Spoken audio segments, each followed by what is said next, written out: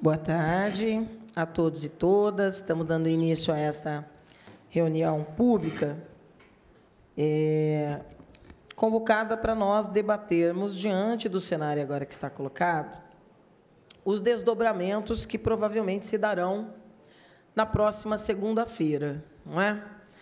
é? Primeiro, anunciar que estou aqui ladeada pelo vereador Locadora. É, alguns outros vereadores confirmaram que viriam, é? mas nós vamos tocando e eles chegando, eles se integram à discussão.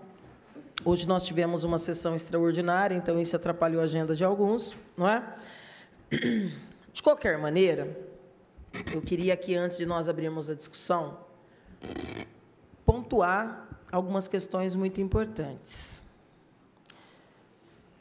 É, e olha, eu, eu tenho dificuldade de, de, de formular aqui a, o pensamento que eu quero externar aqui nessa abertura, porque normalmente toda a minha indignação eu tenho dedicado à prefeita Suelen Rosinho, não é? A grande promotora de todas as discórdias, não é? De todas as fragmentações que deveriam ser é, enviadas a essa casa dentro de uma completude, pelo desrespeito ao controle social. Mas aqui, sem nominar pessoas, eu queria falar um pouquinho do porquê a nossa preocupação e do porquê o nosso compromisso. Vereador Biratã, por favor, ocupa aqui a, a mesa conosco. É, eu tenho visto, ouvido, muita indignação de alguns profissionais do magistério com a sequência de debates. Eu vejo com muita preocupação por uma razão. Né? Vocês passaram por um momento muito bonito e muito duro em 2023 e 2024 com as greves para chegar onde, onde chegaram. Eu estou com 52 anos de idade comecei a fazer a minha militância política com 16. Eu não aprendi nem metade do que eu preciso, mas eu tenho essa essa humildade que eu aprendi a ter, não é? Ninguém sabe absolutamente tudo. E quando você dialoga, toda vez que você senta numa mesa, alguém leva alguma coisa de você e você leva também. É? Isso é um aprendizado que eu tenho para a vida.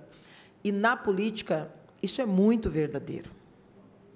Isso é muito verdadeiro.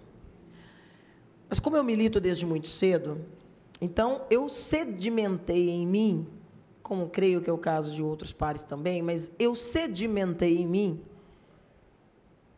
uma formação política, uma visão ideológica e política sobre vários assuntos.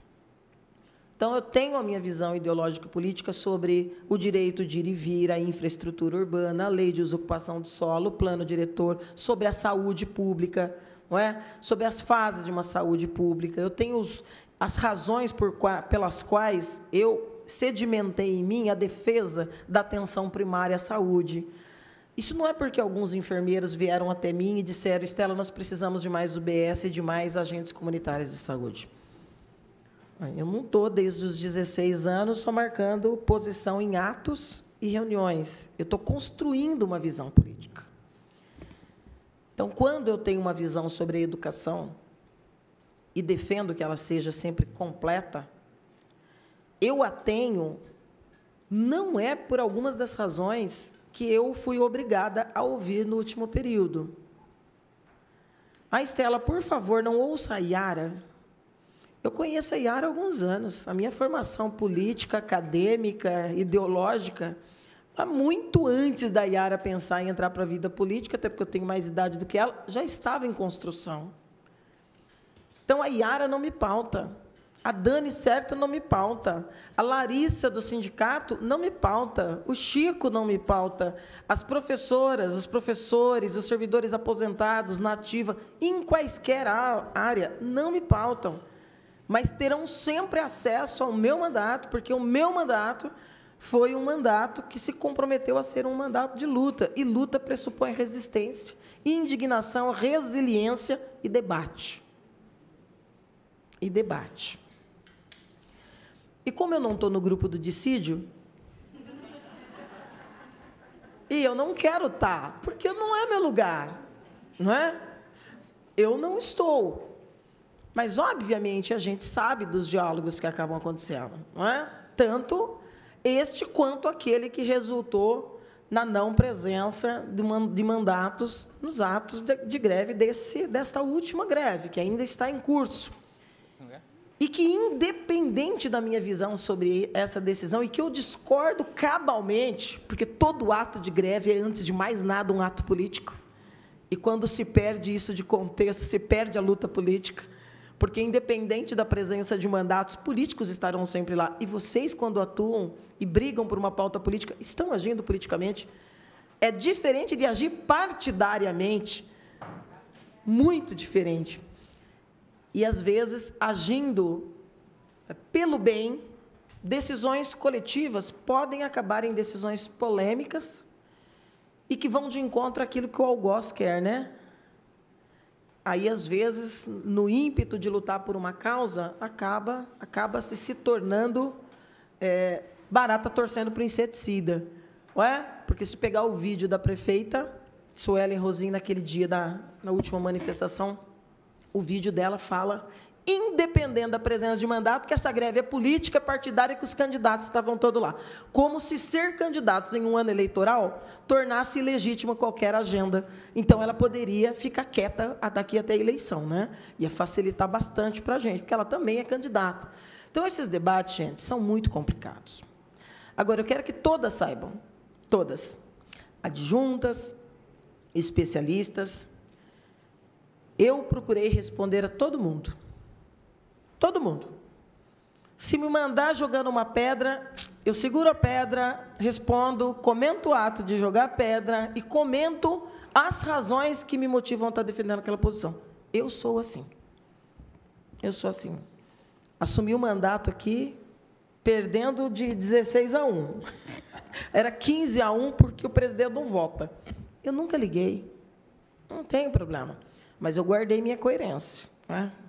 O momento lá da Covid, do abre tudo, a prefeita desce, faz um, né? Publica lá, abre tudo o comércio, ai, vai dar tudo certo. Não vai.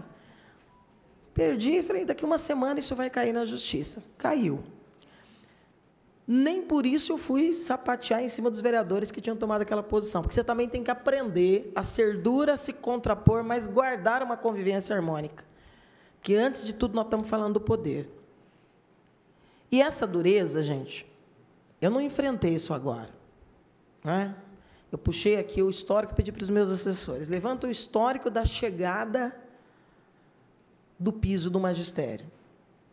Né? E aí nós vamos chegar a uma conclusão de que em 2022 não chegou nenhum piso do magistério aqui.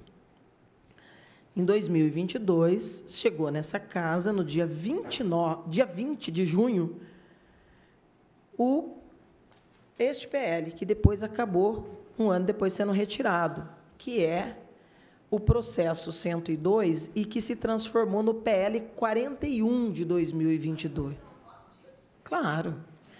Este PL dizia o seguinte: é o presente para enviarmos a Vossa Excelência o projeto de lei 41 que concede abono complementar em atendimento à portaria 67 de 4 de fevereiro de 22 do Ministério da Educação. E o projeto é muito curtinho. Então aqueles aqueles que não souberam, por uma razão ou outra, não puderam acompanhar, é bom memorar isso para poder entender por que é que a gente tem que permanecer, ainda que sejamos derrotados por ela, é? não com a intenção de prorrogar, não com a intenção de né, obstruir, mas com o propósito de que, se nós estamos falando da carreira do magistério, qualquer atitude nossa tem que ser pedagógica. Tem que ser pedagógica, porque é uma compreensão de política pública. De política pública. E aí o projeto dizia o seguinte: lê para mim, vereador locadora. É, é curtinho, acho que é três artiguinhos. Muito curto, grosso e objetivo.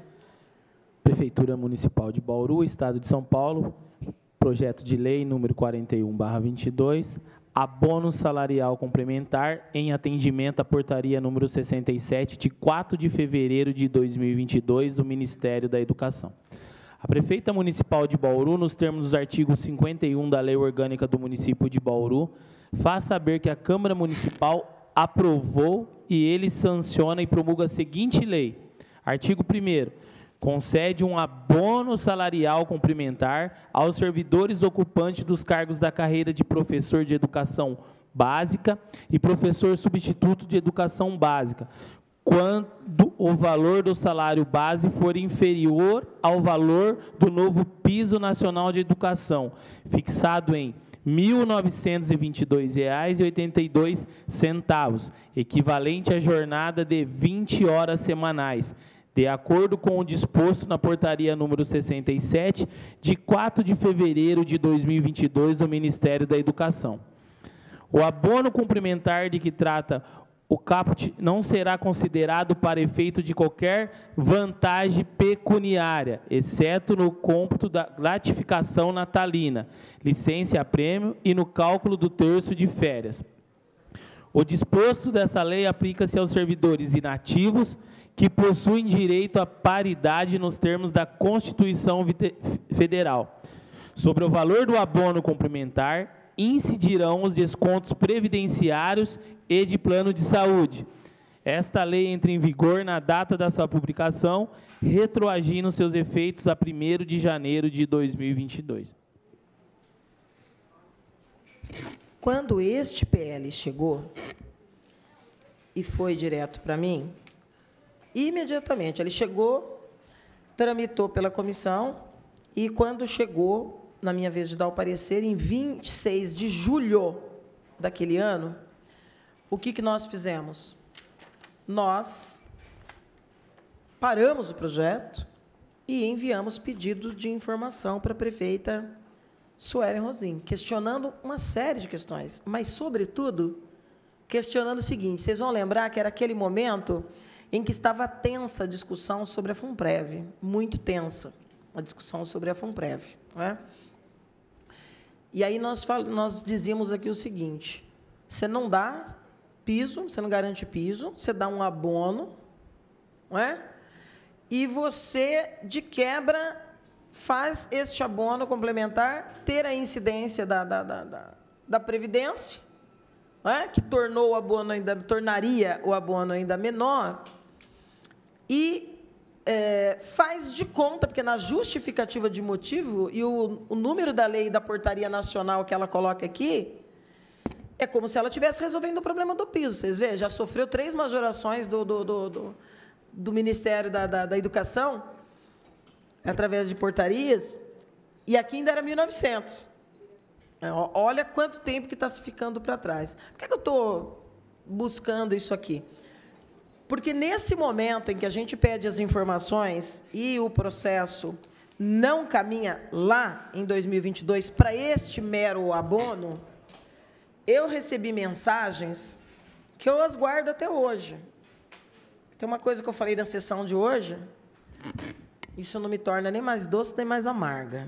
Continuo sendo a mesma, eu só aprendo um pouco mais, entendeu? Eu não bloqueio ninguém, eu não faço pirraça, eu não calunio, eu não ataco, eu não surto. Às vezes eu grito aqui, né? mas é para garantir que a gente seja ouvido. Mas eu tenho equilíbrio nesse debate. Agora, quando a gente, naquele momento, faz esse debate e já manda para o sindicato, isso é importante dizer. Eu e vereador Meira, por exemplo, no primeiro ano de mandato, 2021, nós tivemos duros embates aqui, 22 principalmente, quando foi o primeiro ano do reajuste, por conta dessa postura de ficar consultando o tempo todo o sindicato e, às vezes, travar projetos aqui. E em 22, quando, depois do descongelamento é, dos reajustes, volta-se a poder debater ah, na data base os valores, a prefeita deu um golpe. A prefeita, sim, deu um golpe. E é bom a gente entender, antes de dizer que alguém deu um golpe, tem que entender o que é golpe e por que, que se dá um golpe. Não é? E naquele momento o golpe da prefeita era para começar o mandato dela invisibilizando o sindicato. Aí ela vai e fala: "Tá aqui, o índice é esse, já vou dar desde janeiro". Ou seja, não vem sentar aqui na minha porta em março que eu não vou ouvir ninguém. Quando a gente fez aquele aquela segurada, não é? E aí demorou ali mais 20, 30 dias para que finalmente fosse porque teve a assembleia, teve a discussão, e aí, naquele momento, eu tinha que fazer um papel de defender o sindicato. Não os diretores do sindicato. Porque a gente dizia aqui, ah, o sindicato não me representa. Não, o sindicato te representa sim. Lamento te informar, te representa. Ah, você não gosta dos diretores? Você monta uma chapa. Disputa. E aí você vai lá dirigir. Ou coloca alguém para dirigir que te represente. Agora o sindicato te representa. Se você acha que foi ilegal, você entra na justiça, cancela a eleição, faz o que você quiser. Tem vários caminhos. Né? Olha a prefeita aí, conseguindo até o, né, o inimaginável. Está quase mandando fechar o poder legislativo. Mas por que, eu estou dizendo isso? Que as pessoas precisam respeitar os processos e precisam aprender a culpabilizar aqueles que têm culpa. Então, esse processo do piso do magistério começa com uma fatídica história de um abono complementar que quase um ano depois que ela travou e parou, ela não respondeu os questionamentos que eu e o sindicato fizemos. Aí o que ela faz? Ela retira. Ela retira. Ela retira em 30 de novembro daquele ano. E aí, o que, que ela faz? Ela vai acompanhando os embates políticos, jurídicos, né? E aí ela volta a apresentar um PL quando chega o 83, que teve entrada em 6 de novembro do ano passado. Com, uma, uh, com um texto também polêmico.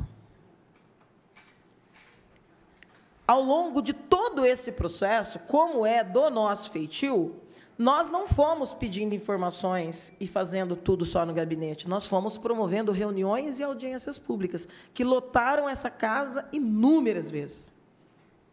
Inúmeras vezes. O PL 83 sofreu três substitutivos na prática. Dois efetivamente. E o último ela não chamou de substitutivo, mas o é. Mas o é. Não é? Parte importante e relevante que deveria estar sendo interpretado por todos como uma vitória construída a muitas mãos. A muitas mãos, inclusive por essa casa. Hoje, a prefeita, diferente do que os enfermeiros, e está aqui o vereador, que é técnico de enfermagem, sabe a luta que nós estamos travando aqui também na Comissão de Fiscalização e na de Saúde, para garantir que os nossos companheiros que estão na área da saúde saiam do patamar de abono. Porque com 83, se tem uma vitória, e isso eu concordo, é que ela reconhece o piso. Ela reconhece o piso. O da saúde, da enfermagem está aqui também já faz um ano. Um ano. E ainda está no abono. Ainda se recusa ao abono. E pior do que o abono, está no campo do abono e subordinado a enquanto perdure repasses do governo federal. E no momento em que deixar de acontecer, ela está dizendo, eu deixo de pagar. Então, olha, o caminho vai ser ainda muito mais árduo lá. Pois bem, com o trancamento de pauta, a partir do PL 2823, nós vivemos momentos tensos nessa casa, é bem verdade. Em dias de sessão tumultuada, em vésperas de trancamento, nós também estávamos vivenciando a presença massiva, porque vocês estavam dentro de um processo de greve, justamente não é? com um dos, das principais bandeiras, que era a educação, que era o magistério, que era o projeto. Então, aquela foi uma, uma sessão tensa. Não é? O vereador Meira ajudou a intermediar a discussão de pelo menos uma ou duas emendas, a gente suspende a sessão, manda a emenda, manda a emenda errada, manda de um jeito que permite dupla interpretação, outra discussão, outra negociação, surgem novos detalhes que também poderiam ensejar dúvidas jurídicas sobre direitos. É, e aí suspende-se a sessão para só retomá-la no dia seguinte à tarde. E aí a gente faz de manhã uma reunião, mais uma reunião, né, vereador Meira? É, mais uma reunião em que a gente debate arduamente os pontos positivos, os pontos negativos, os pontos nevrálgicos daquilo que nós iríamos votar no período da tarde. E aí, fruto dos debates das assembleias, e aí, gente, é outra coisa que precisa entender. É outra coisa que precisa entender. Não é papel do Poder Legislativo debater como é que a tomada de decisões em assembleia se dá. Mas é sempre certo que a intermediação e o porta-voz dessa mensagem, dessa vontade de categoria, será externada a nós, não por qualquer um de vocês, porque padece de legitimidade, mas será sempre pelo sindicato. Então não há que se falar em atacar, não, é? não há que se questionar a legitimidade e não há que se falar que o Chico errou. Quando externa que a decisão foi: não votem hoje como está. Porque há prejuízos enormes para a carreira. Esse foi o entendimento. Não é? Claro que nós ouvimos na, naquela tarde também, mas vamos resolver e vamos resolver a outra parte depois. Dá. Qual que é a questão? Qual que é a questão? E aí, eu não recebi mais depois, mas assim, eu faço questão de ler, porque assim, naquele momento, logo depois daquilo, seguiu-se algo que eu acho que só deixou uma pessoa feliz. Suelen Rosinho. Uma fragmentação de uma categoria inteira, forte, decisiva, operante, capaz de formar opinião, capaz de ganhar pais e mães, capaz de ganhar rua, capaz de ganhar sociedade. E ela ficou feliz da vida porque ela fez com que a categoria se dividisse em duas, isso não existe para mim. E nunca irão me convencer disso. É diferente de dizer, então você não quer que eu passe a ganhar melhor já? Claro. Tanto é que eu não deixei você ganhar um abono de 300 reais há dois anos atrás, porque senão o assunto estava encerrado. Aí depois vai brigar na justiça? Será que teria ganho? Se essa casa tivesse aprovado? Então, tudo pode acontecer, não é? Exatamente. Pessoas podem, inclusive, sucumbir por várias questões nesse meio do caminho sem poder gozar desse, desse direito. E eu vi com muita tristeza aquilo, porque a força demonstrada pela categoria nessa casa, lá na prefeitura e nas ruas, é histórico. Isso ninguém vai apagar. É histórico. Isso ninguém vai conseguir apagar. Mas os vereadores todos começaram a receber textos muito pesados naquela semana. Muito pesados.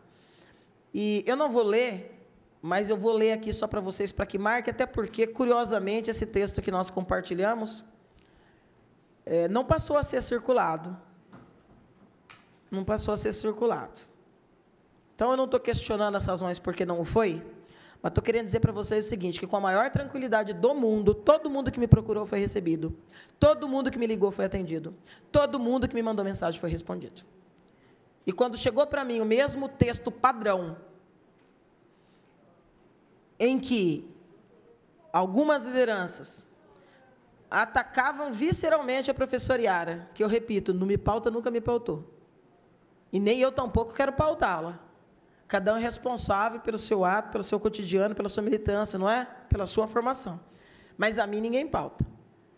A mim ninguém pauta. Mas foram textos muito pesados e que aqui dentro da casa não serviu para distensionar né, com os vereadores, porque aí também causa uma certa confusão, porque nem todo mundo. É, eu sou meio orcaholic mesmo, né? Eu pego um negócio, enquanto eu não entender tudo, eu não vou para a mesa para debater. Então, cada um tem um jeito. Né? Cada um tem uma área que né, se sensibiliza mais. Mas quando se coloca informações que podem confundir o processo, numa casa de 17 parlamentares, onde nove coadunam com a chefe do executivo, é delicado, tem que tomar muito cuidado, não é para não mandar, mas tem que ter uma unidade, a mesma unidade que levou para a rua, que deu visibilidade e força, também tem que ser respeitada. Então, eu vou ler para vocês somente o que eu respondi. Em 13 pontos. Porque 13 é o número da minha vida mesmo, né? ninguém nunca vai tirar. E todo mundo sabe que não é por causa da borboleta, então eu não vou mentir para ninguém. E hoje eu vi também, circulando ontem, eu recebi, com o maior respeito do mundo, um outro documento em 13 pontos. Mas eu disse o seguinte: Bom dia. Isso foi, deixa eu ver aqui. 22 de fevereiro. Eu recebi na madrugada daquele dia, vi que vários vereadores tinham recebido, vários vereadores conversaram comigo. E aí eu disse: ah, eu vou responder e vou compartilhar com vocês. Aí eu respondi a mensagem. Eu disse: Bom dia. Acuso o recebimento da sua mensagem e, por respeito, como me é de costume, jamais deixaria de responder. O que faço nos 13 pontos a seguir? Primeiro, primeiramente me cumpre esclarecer que não pauto a minha atuação no legislativo ou a minha trajetória de luta baseada na posição de quem quer que seja. Temas amplos merecem ampla análise, meticulosa, detalhada e profunda, pois não admite debates rasos.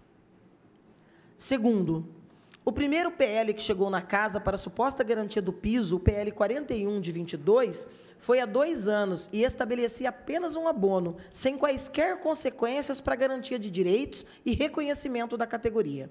Naquela mesma oportunidade, resisti e emiti parecer e suspendi a tramitação, fazendo um chamado à luta. Com um sincero, nesta mesma oportunidade, se organiza e se fortalece o coletivo Educação em Luta, que, salvo engano, salvo engano, também teve a professora Iara como uma de suas idealizadoras, como todas as outras. Naquela oportunidade, tive que ser resiliente, pois fui abordada e procurada de forma pouco cortês por inúmeras profissionais em início de carreira, que pleiteavam a aprovação daquele PL tal como estava, concedendo-se mero abono. Ocorre que o meu compromisso com a pauta da educação e a carreira do magistério não se pauta por pressão ou opiniões que não se embasem na trajetória nacional da luta da categoria, pois tenho posição política e também ideológica com a matéria. Terceiro, o atual PL que tramita, que na verdade já se configura no quarto PL, sendo os dois últimos substitutivos, atende parcialmente demandas que pautaram a luta até aqui. A prefeita Suelen Rosim, na minha opinião, o fez propositadamente, inclusive no intuito de fragmentação da luta que seguia até ali historicamente organizada e coletiva. O gesto da prefeita desrespeita itens essenciais e estratégicos para a carreira do magistério, a ser vista de forma completa e não parcial. Mais que isso, a prefeita interrompeu o trâmite institucional iniciado com o Sincer, na medida em que se comprometeu em apresentar resposta e parecer no processo 17173 de 24, que este, sim, cuida do atendimento global das demandas.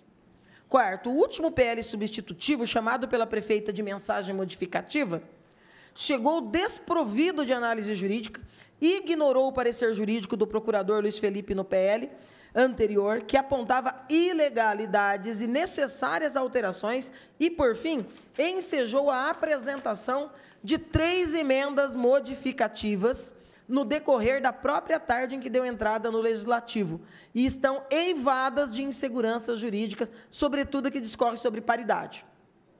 Quinto, o sindicato participou da reunião pública ocorrida na manhã de sexta-feira, promovida em face da suspensão da sessão, para dar tempo exatamente à prefeita para proceder novas e necessárias alterações no PL e externou posição da categoria aferida em assembleia naquela própria manhã, de não prosseguimento do PL nas condições em que se encontrava.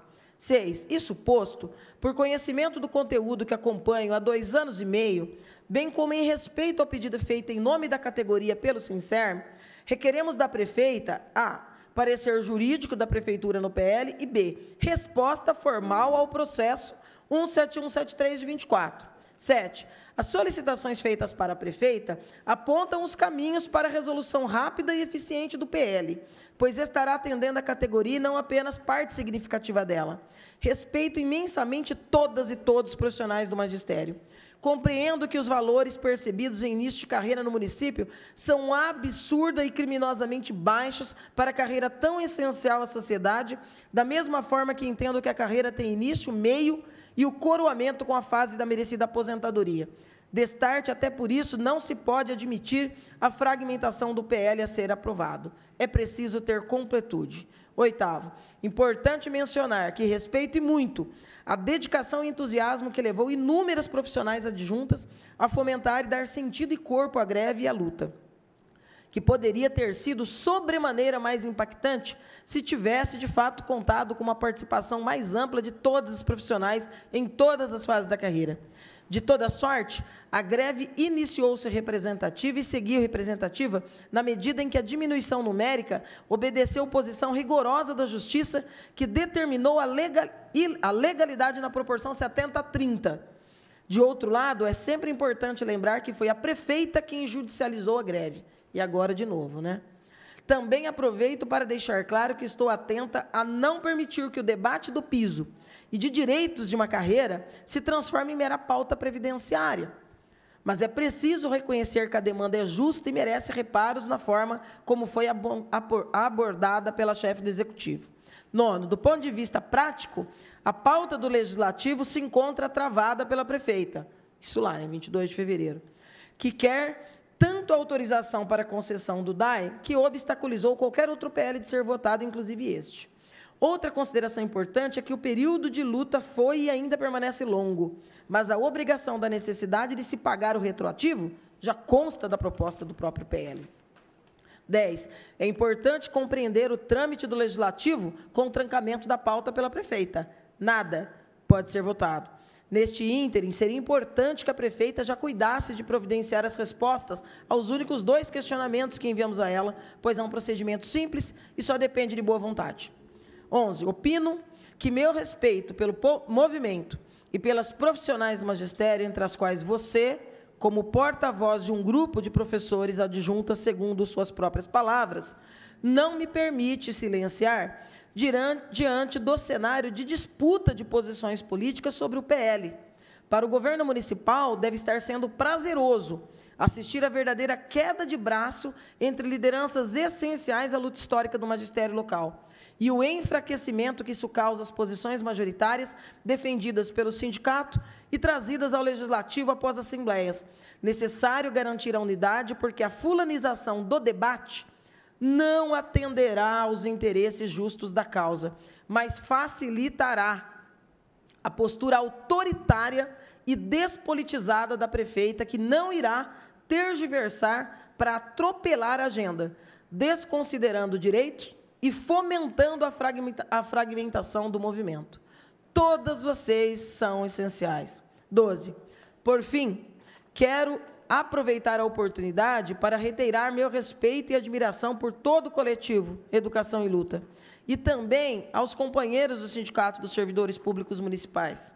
A minha admiração e respeito é igualmente estendida à professora Iara, que, além de professora como vocês, é também minha amiga pessoal, mulher de luta, coorganizadora do coletivo, suplente de vereadora e reconhecida nas urnas, o que lhe concedeu a missão da vereança por breve período, período que acompanhei de perto e que visivelmente estabeleceu como prioridade a educação e a carreira do magistério.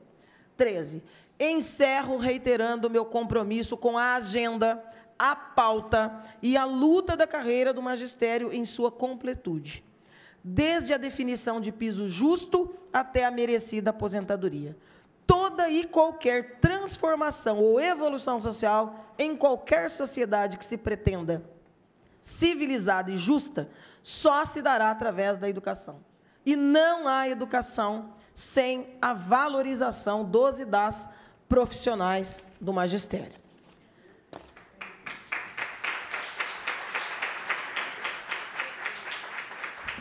Isso foi em fevereiro. Naturalmente, esse texto não viralizou eu não respondi para ser viralizado. Eu respondi para quem me abordou. Assim como todos os questionamentos feitos de lá para cá também o foram. Pois bem, que momento que nós estamos hoje é isso que nós queremos discutir com vocês aqui. Nós estamos diante de uma situação jurídica delicada. Delicada, certo? Não há dúvida que na segunda esse e vários outros projetos serão pautados. Né? Tanto que se chamou a reunião extraordinária de hoje de manhã para a desobstrução dos vetos, que também estavam travando a pauta. Por que, que o momento é juridicamente delicado? Porque nós estamos acionando o TJ através de uma ADIM para anular aquela sessão da segunda-feira, que foi um show de horrores. É? Totalmente ilegal inconstitucional, inclusive a aprovação do PL 2823. É 100% certeza que venceremos? Eu rezo que sim, mas é possível que não seja. Agora, é difícil. Porque se a gente perder no TJ, provavelmente a gente reforma a decisão do TJ no STF. Por quê? Porque é matéria constitucional. Então, veja, é para além de um debate de 30, 40 PLs que estão aqui, porque estão parados, né? Estão parados. Desde fevereiro não se faz outra coisa, é, a não ser debater essa questão do destravamento da pauta. Pois bem, enquanto de um lado se caminha a análise da ADIM, Teve a sessão de hoje, que se declarado inconstitucional a de segunda, a de hoje também não valeu. Então, nem a de segunda destravou a pauta, nem a de hoje.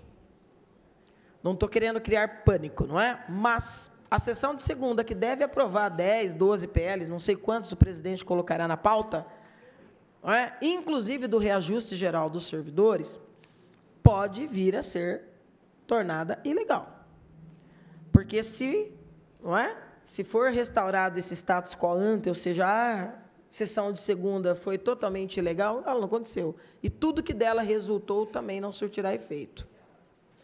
Enquanto isso não acontece, sim, é legal que a gente continue debatendo. Sim, é legal a, a sessão de hoje.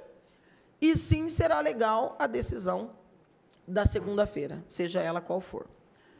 Pois bem, retomando, antes do travamento da pauta, Inclusive, a gente pensou, é, naquele momento, principalmente eu e o vereador Meira, ele saiu para dar uma entrevista, não sei se deve voltar, acho que deve voltar.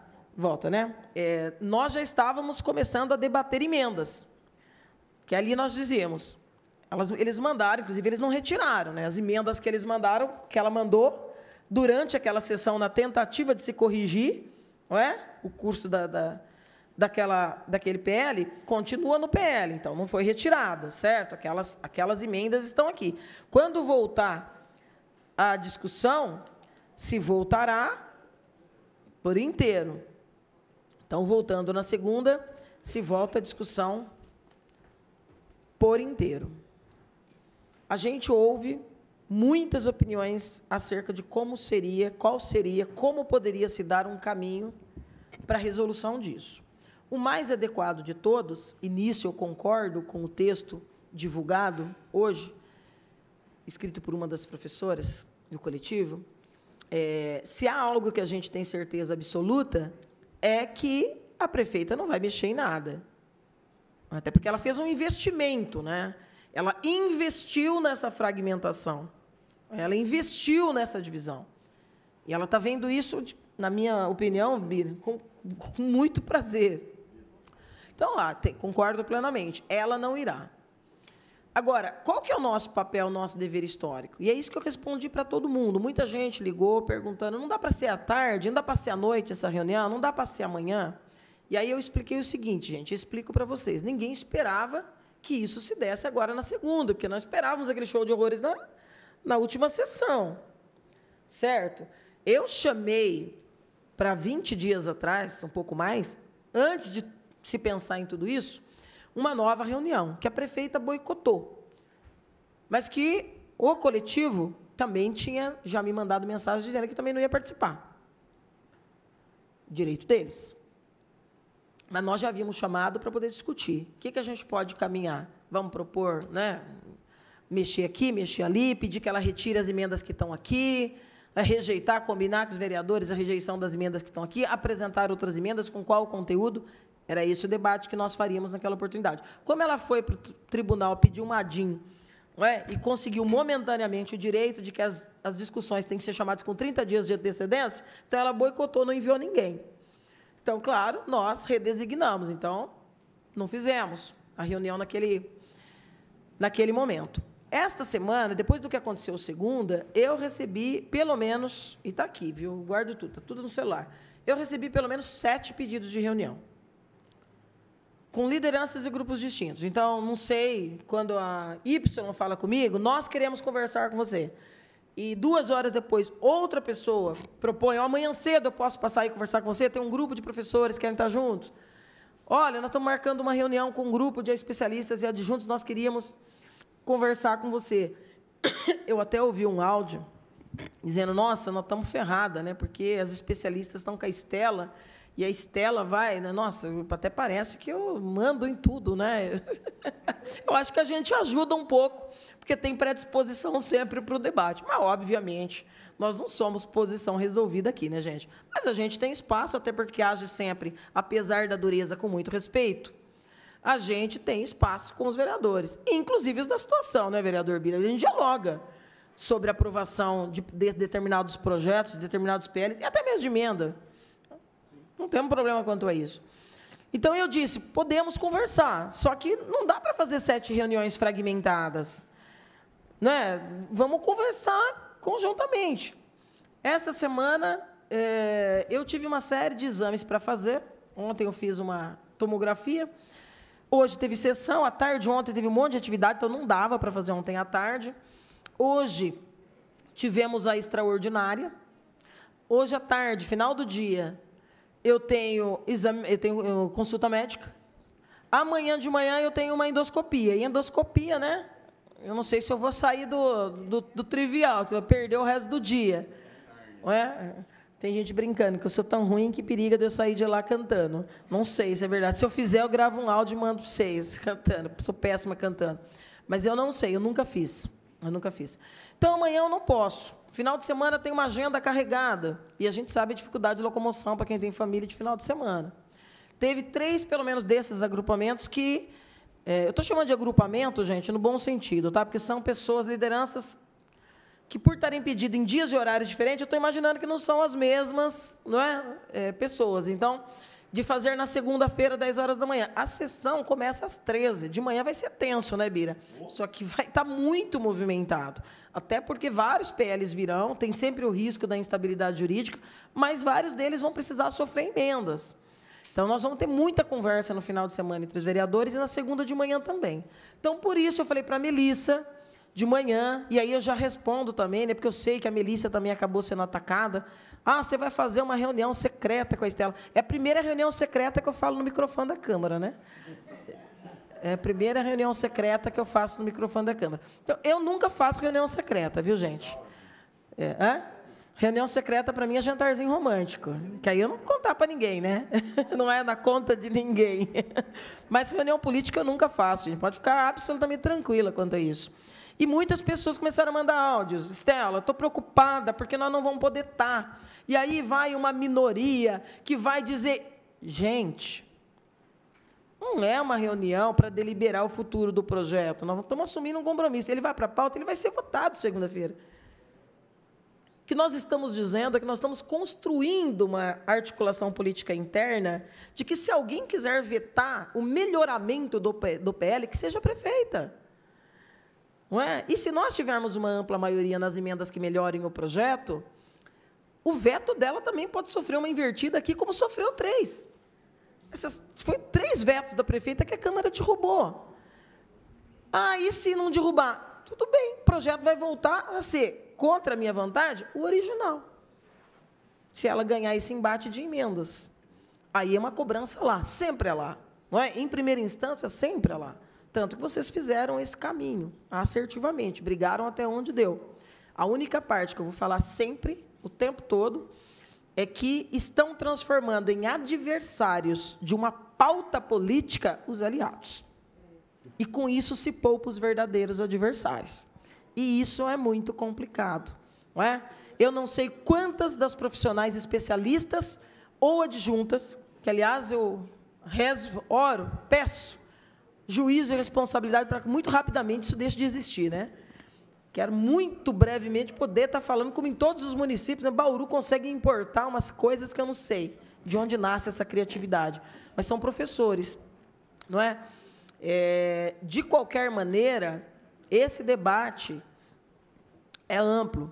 E quando a gente faz um movimento de vamos discutir, a gente está fazendo o debate de vamos melhorar. É? Ninguém ia fazer uma reunião aqui com 10 vereadores, com 3, com 4, e com 100, ou 200, ou 300, e dizer, a partir de agora vai ser assim. Não é, não é porque eu estou falando agora, é porque eu não cheguei aqui ontem, né? nem na cidade, nem na política, nem na Câmara. Então, todo mundo está acostumado como é que a gente trata, como é que a gente trabalha. Não é? Sabe que é democrático. As pessoas podem falar, podem opinar, e o nosso propósito será sempre o debate do que seja melhor para a carreira do magistério. E tem vários pontos ali que a gente já discutiu várias vezes no sindicato, com os diretores, com os advogados do sindicato, já discutimos aqui várias vezes, e que a gente sabe que poderiam, por exemplo, nem estar ali. Será que não seria o caso de emendas supressivas, vereador Meira, que mantenha o estabelecimento do piso e retire os temas que são pertinentes ao debate do PCCS que está travado? Porque está tratando-se aqui muito vagamente do PCCS e com complexidade, por caminhos oblíquos. Não é? Eu acho temeroso, eu não sei quantos dos profissionais pretendem aposentar no magistério municipal e quantos querem legitimamente buscar carreira na universidade, não é? Buscar carreira acadêmica, não é? Absolutamente legítimo. E eu reconheço quadros valorosos que caminham para isso. Agora, eu fico preocupada quando se cria numa lei uma perspectiva de que no futuro vai ser bico. Você vai pegar duas jornadas ou você está condenado a só isso aqui. Você não vai ter perspectivas sucateamento da educação. Eu tenho medo porque eu tenho dois filhos, eu não tenho nenhum neto ainda, mas meus netos vão estudar na escola pública. Eu sempre estudei. Não é? Então, assim, eu estou falando de educação e quando eu digo para as pessoas, não é com o intuito de confrontar, mas é com o intuito de demarcar campo. Quando eu defendo a carreira, eu estou defendendo o futuro da educação, que está precarizado em Bauru de todas as formas. Uso irresponsável de recursos, não é? precarização da estrutura, a quadro de assédio moral, insuficiência de quadros, ausência de um debate sobre o redimensionamento da nossa rede, sucateamento da política é, da educação especial, que é uma das questões que eu mais tenho recebido é, reclamações aqui e que chama a necessidade de um debate. Tem um PL nesta casa, que eu não sei se o presidente colocará, vereador Meira, na segunda também, que cria mais de 300 cargos na educação sem se debater se é o bastante e se é o adequado para aquela perspectiva. Mais de 300 cargos. É? Cuidador, merendeira. Mas e o redimensionamento da rede? Quanto? Quanto efetivamente? É o debate político que eles não querem fazer e vão sucateando cada vez mais. Então, o que, que nós queremos aqui? Nós queremos só discutir que nós teremos amanhã ainda, que é sexta, sábado e domingo, os vereadores da oposição, principalmente, ou não, porque eu sinto predisposição, viu? Estou sendo muito sincero, até porque o momento da Câmara está muito delicado. Eu conversei com vários parlamentares hoje. Eu não me surpreenderia que emendas que melhorem o projeto sejam votados, inclusive, por vereadores da base. Eu não duvido, certo? Eu não duvido. E, claro, que se essa sinalização ocorrer, é um, é um recado claro também para a prefeita, do tipo, você tem que construir isso por via de mão dupla, né? Vai e vem. Você não manda aqui que nós somos cartório. Você não pode fazer isso, porque ela já tem feito muito. E esse desgaste pode levar a uma reflexão que nos ajude nesse momento. Pior dos cenários, foi rejeitado. Nós fizemos o nosso papel de apresentar as emendas, debater essas emendas e registrar historicamente quem serão os responsáveis, se do legislativo ou do executivo ou ambos, por não aceitarem que a gente tenha essa aprovação dessas emendas. Ah, mas aí vocês vão pedir prazo? Não vamos mais pedir prazo, nós vamos entrar na eleição. Daqui dois meses tem campanha. Tem campanha, não é? E quando se aproxima, dois meses e meio, 15 de agosto, já está em campanha. Então, assim, é um momento delicado que nós estamos vivendo e nós perdemos meio ano de 24 por irresponsabilidade da prefeita. Então, o que, que a gente quer aqui? Ouvir essa sugestão, porque nós vamos sentar, né, vereador Mira? Estou dizendo aqui que nós já tínhamos falado, antes do travamento da pauta, que na teimosia dela, nós já íamos redigir emendas que tornassem o projeto completo. É? sem isso de, de, prejudicar a carreira, é? o reconhecimento do ATP, porque é um absurdo, com parecer jurídico, com posição, com citação na própria legislação federal, ainda se insistir né, nesse arremedo de interpretação para interpretar isso ainda como uma questão provisória, que não é. E a gente sabe que isso tem uma implicação direta, que é o debate da FUNPREV, que não tem que se confundir com a carreira do magistério. Não é? Quem aceitou ser prefeito, quis ser prefeito, sabe que tem uma complexidade de problemas para resolver. Então, senta, debruça sobre ele e resolve. E resolve. Mas é isso, qual que é a ideia? Vários queriam conversar. Então, ó, eu vou estar lá, nós vamos estar lá, vamos pedir o plenário, vamos fazer uma reunião pública e vamos ouvir vocês. Eu tenho ouvido de tudo. É? Desde deixa só o, o estabelecimento piso, muda isso, tira aquilo, põe isso. E nós vamos fazer essa reflexão. E nós vamos com, procurar conversar, inclusive, com os vereadores da base, né, vereador Mira? Porque eles também têm uma responsabilidade histórica. Nós estamos falando de uma carreira. Nós estamos falando de uma carreira, não é? E aí, é isso. Né? Falei demais nessa abertura, mas era necessário porque eu ouvi demais essa semana. Então, tinha que colocar os pingos nos is com a mesma tranquilidade, né? É, poderiam estar todas aqui, seriam extremamente bem-vindas. Quando quiser fazer no sindicato, também pode chamar que eu vou. Liberou o plenário, achei melhor fazermos aqui. Estar na Casa de Leis facilita a presença dos vereadores. Não é? E também queria deixar claro que eu fui procurada para fazer as reuniões, mas eu não gosto de reuniões fragmentadas. É, não gosto de reuniões fragmentadas. Até porque depois fica o diz que não diz, que, né? Ah, mas a Estela falou isso, mas a Estela falou aquilo. O que eu for falar, eu falo sempre aqui, ó. Falo sempre aqui, fica tudo registrado ali, não é? Para que facilite esse diálogo. Acho que quando a gente é transparente, todo mundo ganha. Vamos ver o que é que a gente é, fecha aqui como indicativos dessa, dessa possibilidade. Né? Eu sei que tem a questão dos aposentados, tem o pessoal da ativa, tem o pessoal que está começando, tem o pessoal que está caminhando, tem o pessoal que está segurando a aposentadoria. Né?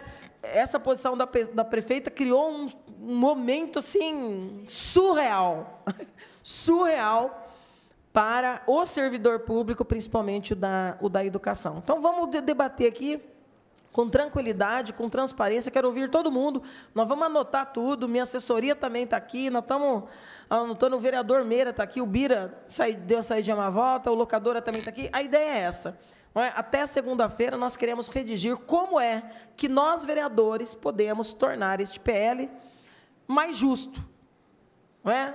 Teve gente que hoje mandou mensagem só para encerrar, dizendo assim: ah, mas você acha justo?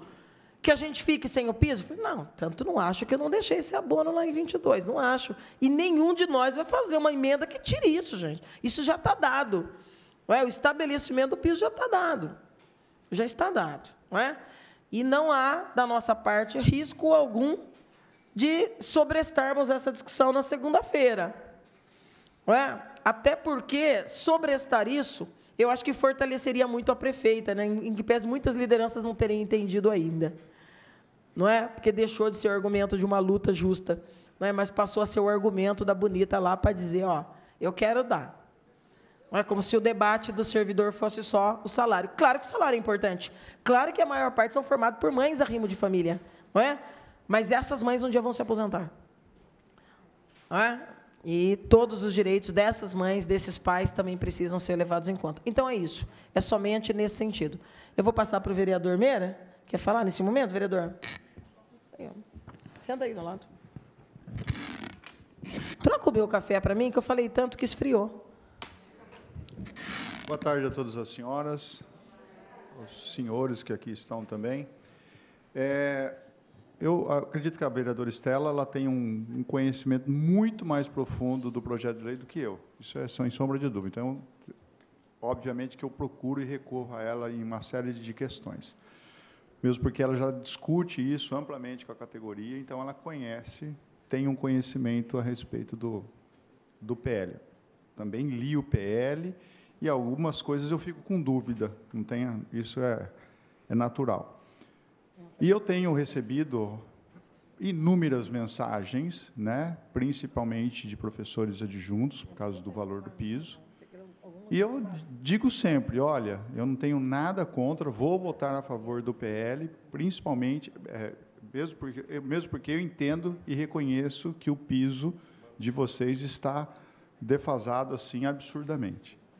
Mas o PL, ele de uma certa, como a própria vereadora Estela disse, ele, de, ele não contempla apenas uma categoria, ele contempla toda uma categoria. E por isso a complexidade dele, né, ele, não foi, ele não foi fatiado. Se ele viesse aqui, olha, aqui é só para fazer a atualização do piso dos professores adjuntos, é uma coisa, mas não, ele veio como um todo.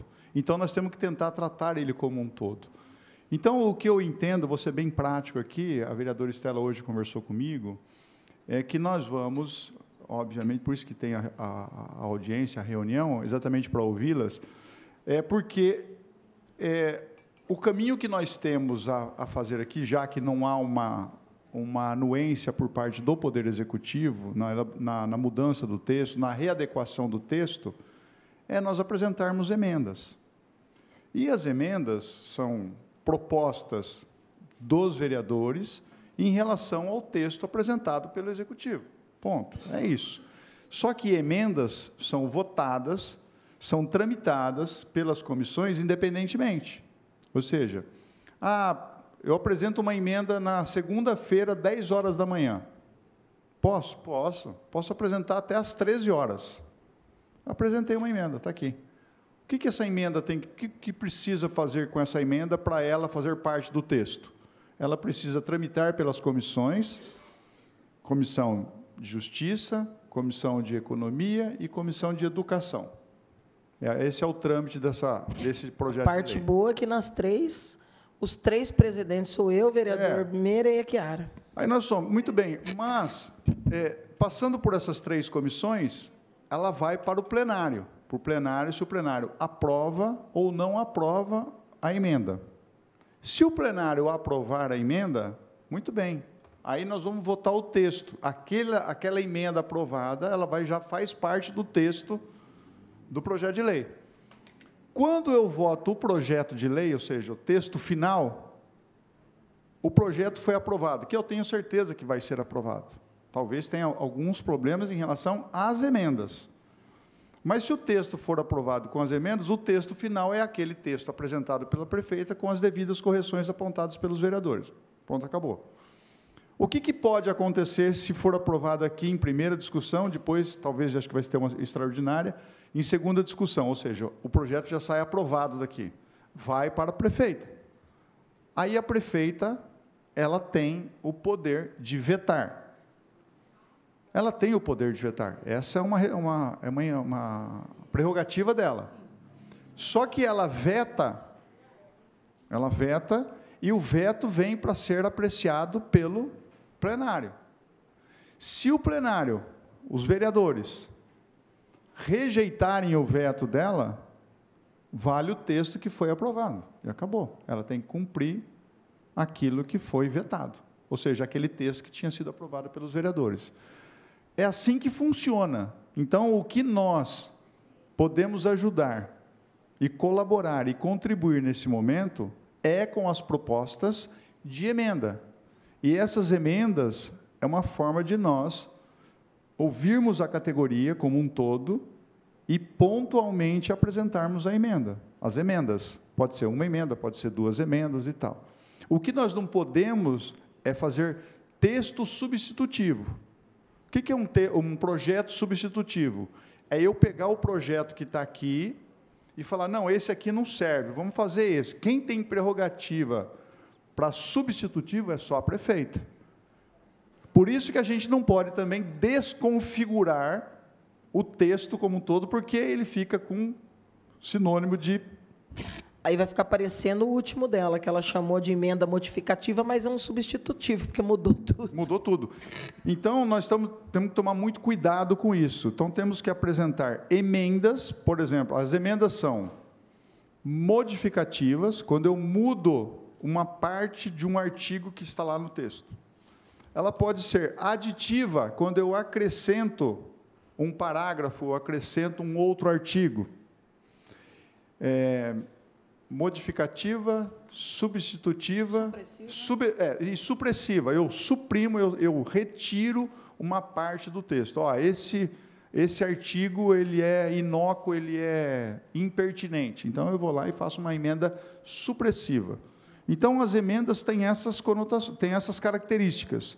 E aí a Estela, ela vai, o objetivo dessa reunião é sair com mais ou menos as minutas, né, as propostas das emendas, para que a gente, na segunda-feira, pode ser na segunda-feira, não tem problema, nós protocolamos essa, essas propostas aqui na diretoria de, de apoio logístico, exatamente para quê? Para que ela faça passe a integrar o PL apresentado pela prefeita municipal.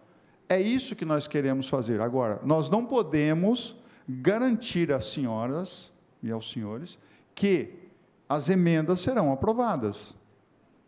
Pode ser que sim, pode ser que não. Uma coisa é certa: se houver uma anuência por parte dos 17 vereadores em relação às emendas, vai para a prefeita, ela, te, ela não vai sancionar, ela vai vetar. A possibilidade de derrubar o veto da prefeita aumenta, porque os 17 assinaram, os 17 concordaram com as emendas.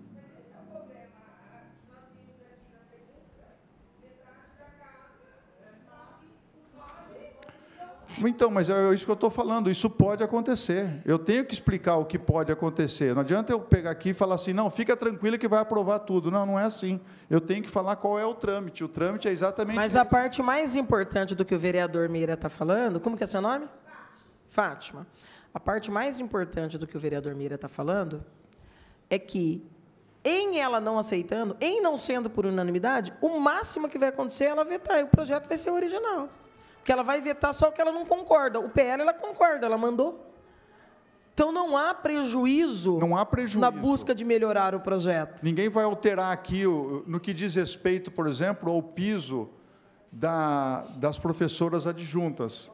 Isso não, porque isso é, isso é texto dela. Isso ninguém vai chegar aqui e alterar. Isso aqui não tem, não tem possibilidade alguma de ter qualquer problema. O que pode ter problema é que, em relação ao a outras reivindicações da categoria, não é isso, Estela? Exatamente. E aí tem uma coisa, só para completar, hoje umas quatro me perguntaram, ah, a ideia da emenda é boa, mas e se alguém pedir prazo na emenda? A situação? Eles querem aprovar, é o que eles disseram. Nós não vamos pedir prazo. O vereador Meira presídia de, de justiça, ele vai nomear relator. Muito provavelmente vai nomear relator ou eu, o vereador locadora, é, que já vai aprovar na justiça. Na economia, eu sou presidente, nós temos também uma maioria na economia, que também é composta pelos vereadores Ubiratã e Chiara, junto comigo. E a, a comissão de educação é presidida pela vereadora Chiara. Então, na comissão, nas comissões por onde tem que tramitar, Dificilmente vai da nossa parte vai ser muito tranquilo. Entendeu? Vai passar. Vai passar o quê? Que as emendas podem tramitar. Ponto. Aí vai votá-las. Vamos aprová-las? Não sei. Eu tenho certeza que oito votos nós teremos, que são os vereadores da oposição. E tem, não é? vou até estou tentando até evitar de falar em oposição em situação, porque como o tema é importante mesmo, eu senti hoje de manhã, em algumas conversas, que há predisposição de que mesmo os vereadores sendo da base tenham essa compreensão, porque eles sabem que é um momento histórico. Não é? Todo voto aqui tem consequência. Não é? Você não quer falar aqui no microfone, não? Tudo que vocês falam. Leva um microfone para elas, para mim, Rubens. Um microfone aí para. A assessora do, do Bira ajuda aí. Não, vergonha nada, eu estou te ouvindo. Só vai ficar registrado. Professora não pode ter vergonha de falar com os alunos.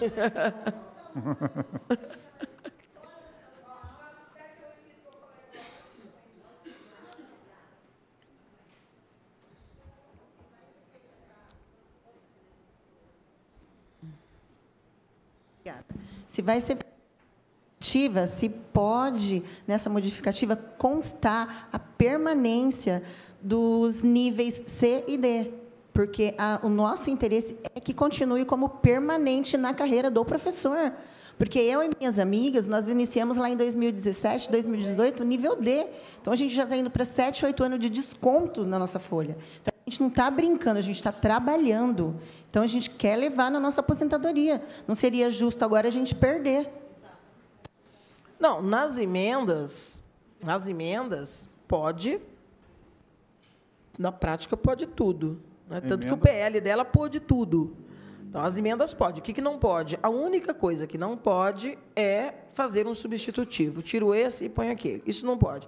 As emendas, por isso que a gente queria ouvir vocês, porque nós vamos construí-las uma, duas ou três até segunda-feira de manhã. Então, ouvir, ter essa oportunidade é uma forma também de dar um norte. Né? Convidamos o sindicato, inclusive, para isso, para que essas opiniões também sejam é, apuradas com o sindicato. E todas vocês, todo mundo que está aqui, gente, adjunto, especialista, não importa. Falem, porque nós vamos passar o final de semana pensando pensando neste o melhor texto. Nesse melhor texto para que a gente apresente. No frigir dos ovos é o PL que está aqui, que eu considero ruim. É, o único ponto positivo foi fruto dessa luta que nós começamos todos juntos lá em 2022, de não aceitar abono. Não é? De não aceitar abono. Então, virou piso. Então, isso está garantido. Certo? Está garantido. O detalhe é que o artigo 28, por exemplo, lá quando vai falar dos titulares, e aí estabelece nos incisos 1, 2 e 3 os períodos, fala, enfim, esse aqui acho que é um dos, dos, dos, dos complexos, né? que causou muita, muita comoção, vamos dizer assim, muita revolta. É, nós podemos suprimir? Podemos.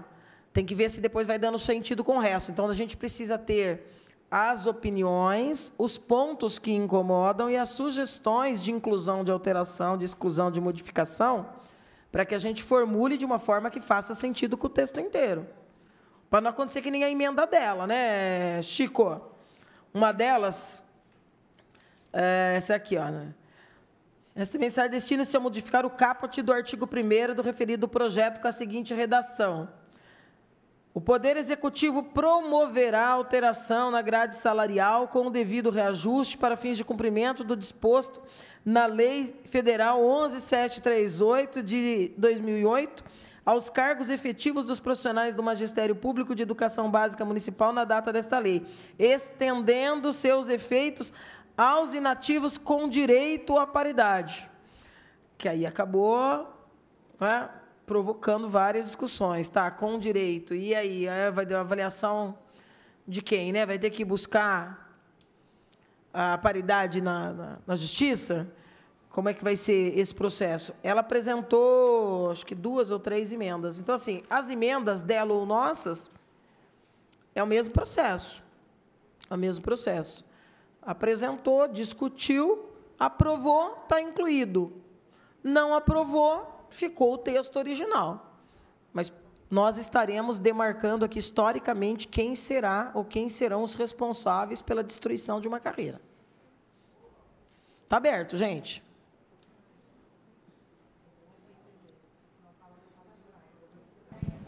Pode falar, Dani, certo, você não está errada. Microfone. Pode vir aqui, pode usar o de aparte, onde você quiser. Tribuna.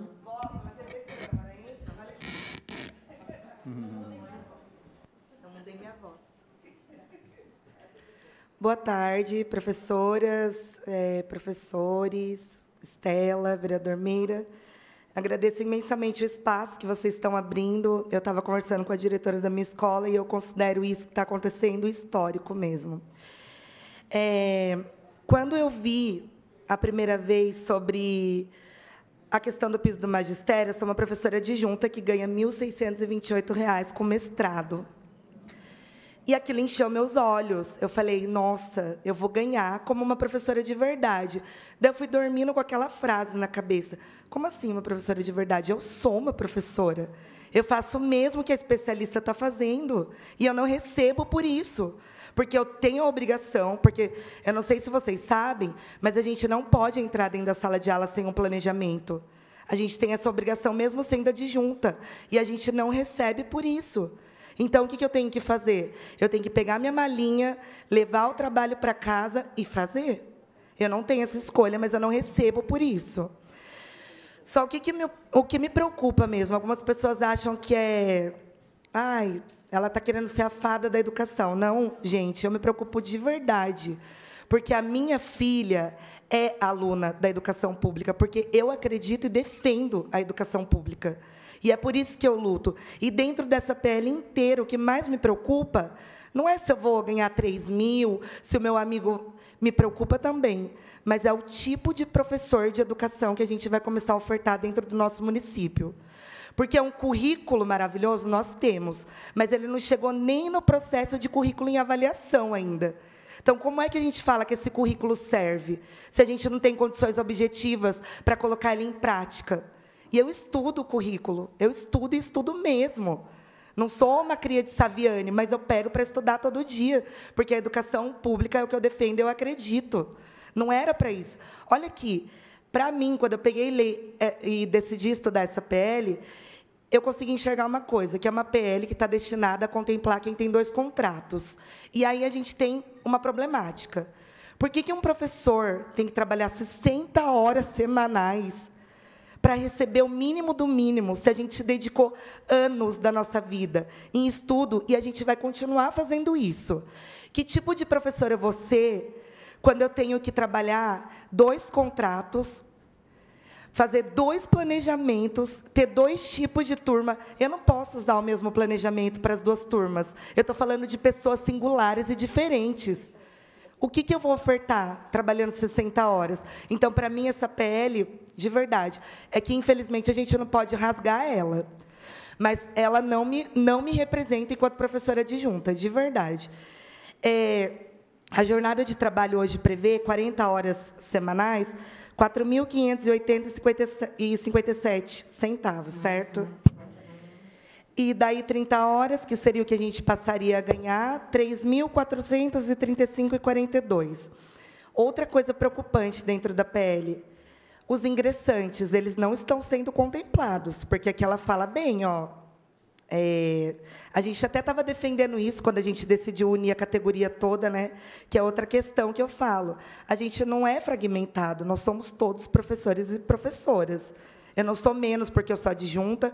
Eu não vou declarar guerra à minha amiga Jaque, que não consegue se aposentar, sendo que ela se dedicou 32 anos da vida dela para se aposentar com um salário miserável. Ela poderia ser a minha mãe ali. Entendeu? Eu vou falar, ah, ela que lute depois. Sabe-se Deus se ela vai conseguir entrar na justiça e conseguir esse direito?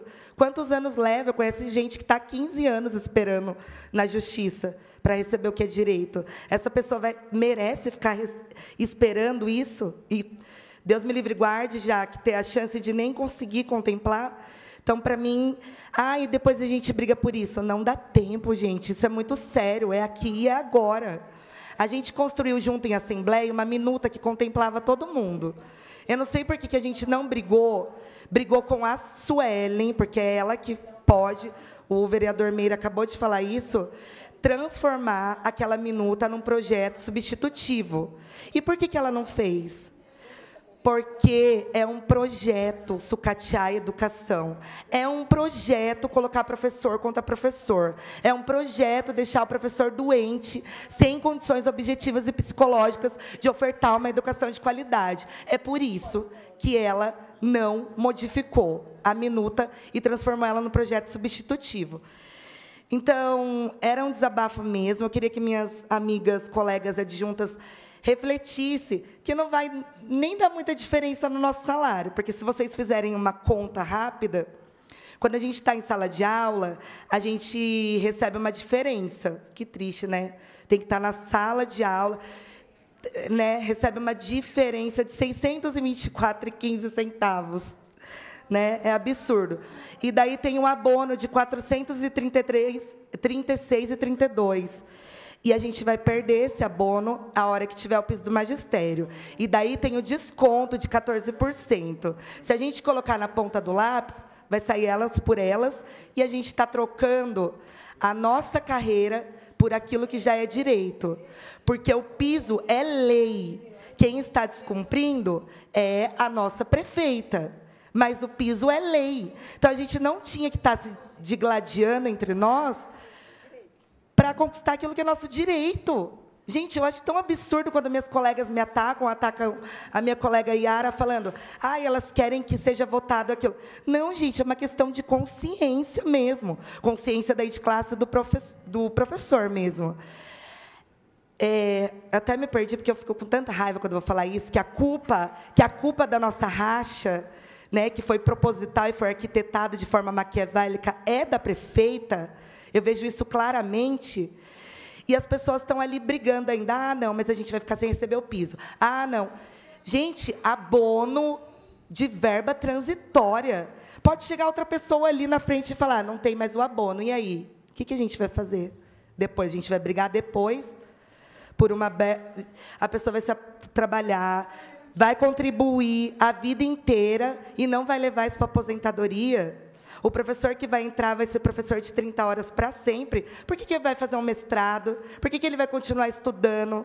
Ele vai fazer nada. Vai continuar ofertando educação de pobre para o filho do proletariado. E é isso que está me revoltando.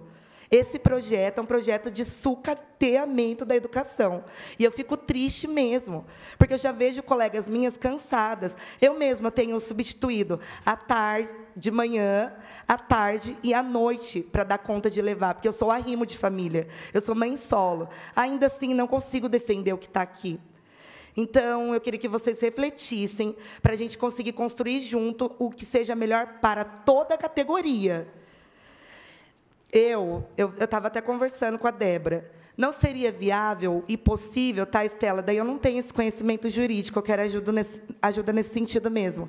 Tirar essa saladona aí que enfiaram tudo numa coisa só e discutir só o piso, cumprimento do piso, que é a lei, já é lei, não tem como fazer isso. O pi Vereador Meira, o piso já é lei, ele está sendo descumprido há dois anos. Por que, que a gente tem que trocar aquilo que é nosso direito e, e retroceder aquilo que foi conquistado com muita luta pelas, por essas professoras de 32 anos, professoras de 20, professoras de 15?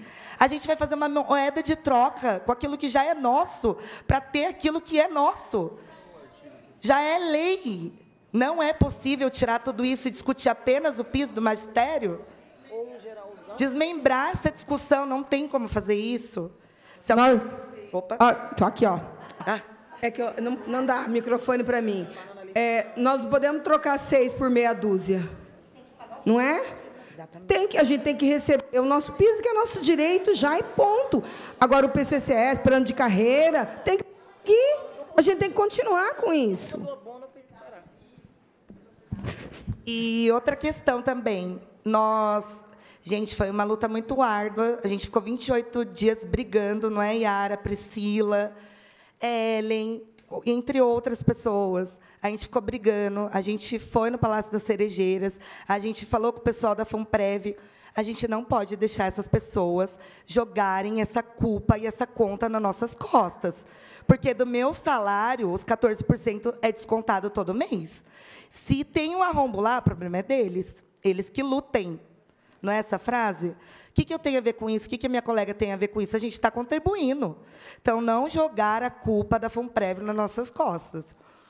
O PIS é lei, ele tem que ser cumprido. Então, essa é a minha dúvida hoje, enquanto adjunta. Não tem como separar essas discussões que não cabem agora e só cumprir aquilo que é. Já foi determinado, o juiz falou, cumpra-se. A nossa prefeita está descumprindo. E aí? É isso, tá, pessoal?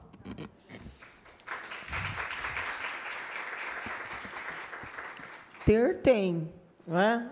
Temos que procurar o caminho menos árido para buscar aprovação na segunda-feira. Tanto que se você pegar o, o PL 41 de 22, o que dava abono, só aplicava o abono, né? aquilo que o Louca leu para nós aqui, tem dois artigos, artigo 1 e o segundo que entra em vigor na data da sua publicação.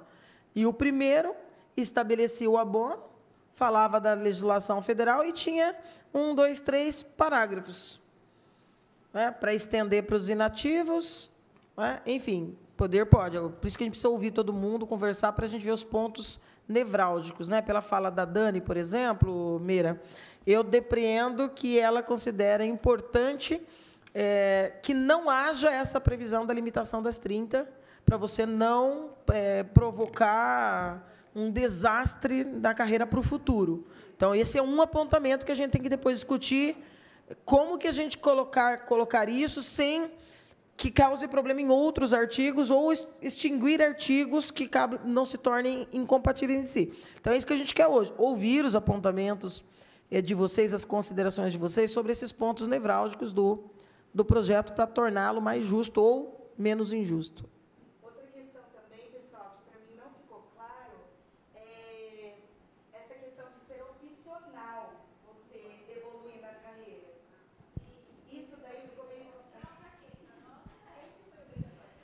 É, por que, que, que isso vai se tornar opcional?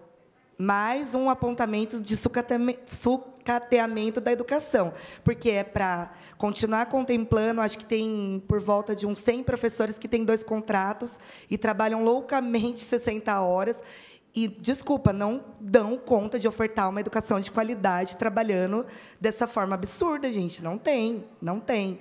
E daí, por que, que isso é opcional? Tem uma inscrita e mais uma. Para a pessoa continuar trabalhando 60 horas. Né? Então, para a gente repensar isso. E outra coisa, ó, o E aqui, não possuir qualquer tipo de redução de jornada. E as mães que têm redução de jornada porque possuem filhos com deficiência ou transtorno? Ela não vai ser contemplada também? Isso é um crime, gente. Tirar um direito de uma pessoa que precisa desse tempo para cuidar da qualidade da saúde de uma criança com deficiência ou transtorno. Por que ela também não vai ser contemplada?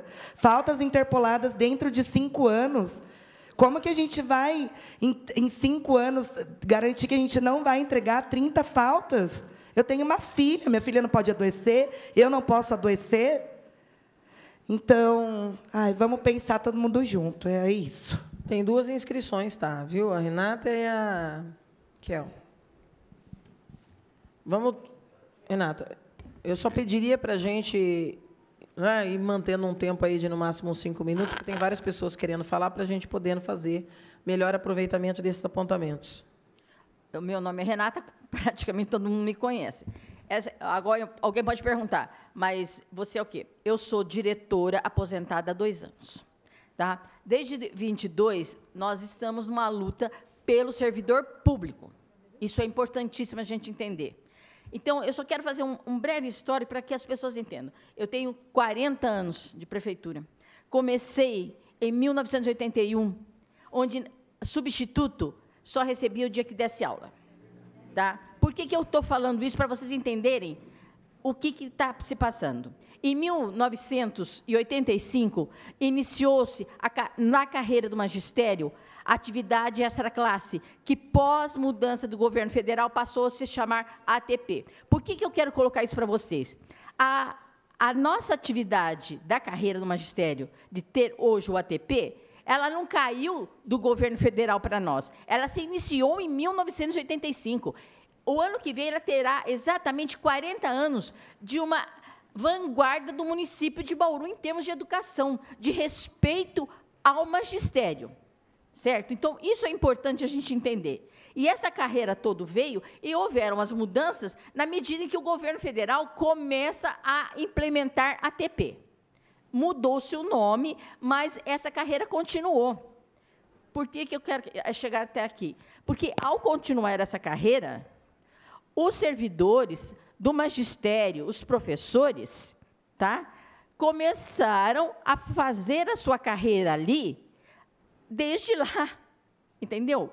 E muitos já se aposentaram, muitos começaram antes de 2003, certo? Por que, que eu estou pondo esse, essa data? Porque os de 2003 para cá, eles têm duas coisas importantes que precisam estar presentes, sim, que é um ponto que eu gostaria que estivesse presente nessa PL, integralidade e paridade. Porque isso vai interferir profundamente nessas colegas. Por que é importante continuar carreira do magistério? Estou falando de minha vivência de 40 anos. A Estela fez uma fala assim, mas não saberemos quantos continuarão.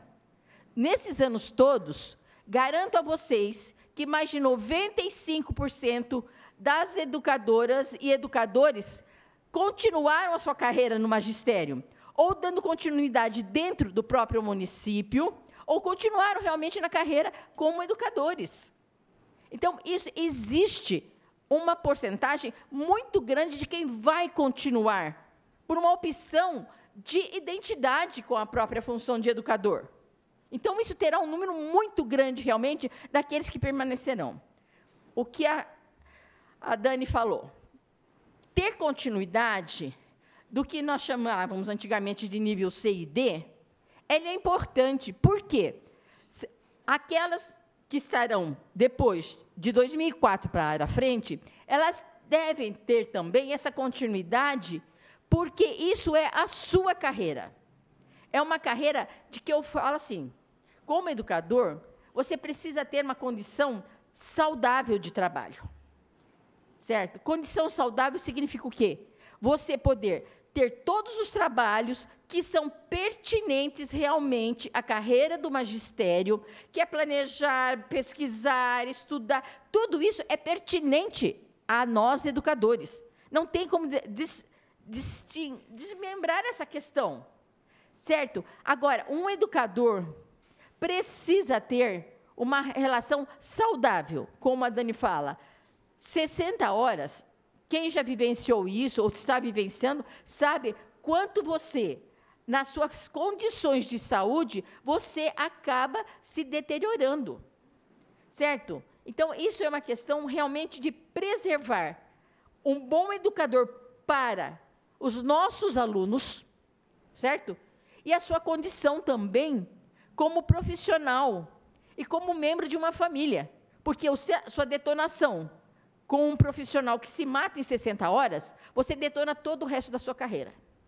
Não só como educador, mas a sua carreira particular. Isso é importantíssimo a gente ter isso. São questões que permeiam uma qualidade da educação. Porque não dá para se pensar no quem é que vai fazer a educação nesse abuso de horas de trabalho. Não tem como pensar nisso. Vai se perder? Vai. Talvez alguns terão que fazer opções, sim. Não vou falar que não. Porque eu gosto de trabalhar com transparência, com verdade. Isso é verdade, poderá acontecer. Se eu falar para vocês que é mentira, eu vou, ter, vou estar sendo desonesta com o que eu prezo muito, a verdade. Então, isso é importante a gente ter. Então, o que eu coloco? A, tem que aparecer a integralidade e a paridade para os que vieram e foram contratados e trabalham antes de 2003 não dá para se pôr só paridade ou ali. É paridade e integralidade. Isso tem que aparecer. As condições de dar continuidade à carreira do magistério, que não foi dada pelo governo federal, foi algo que foi conquistado em momentos de em 1985. E isso tem que se dar o direito àqueles que estão para se aposentar, aqueles que estão no meio do caminho e aqueles que virão. Porque todos têm esse mesmo direito de prosseguir a sua carreira. E se na, nos que estão iniciando não lhe é dado esse direito, tem que ser dado esse direito. Aos que estão no meio do caminho, que está no B, tem que lhe ser dado o direito de continuar essa carreira.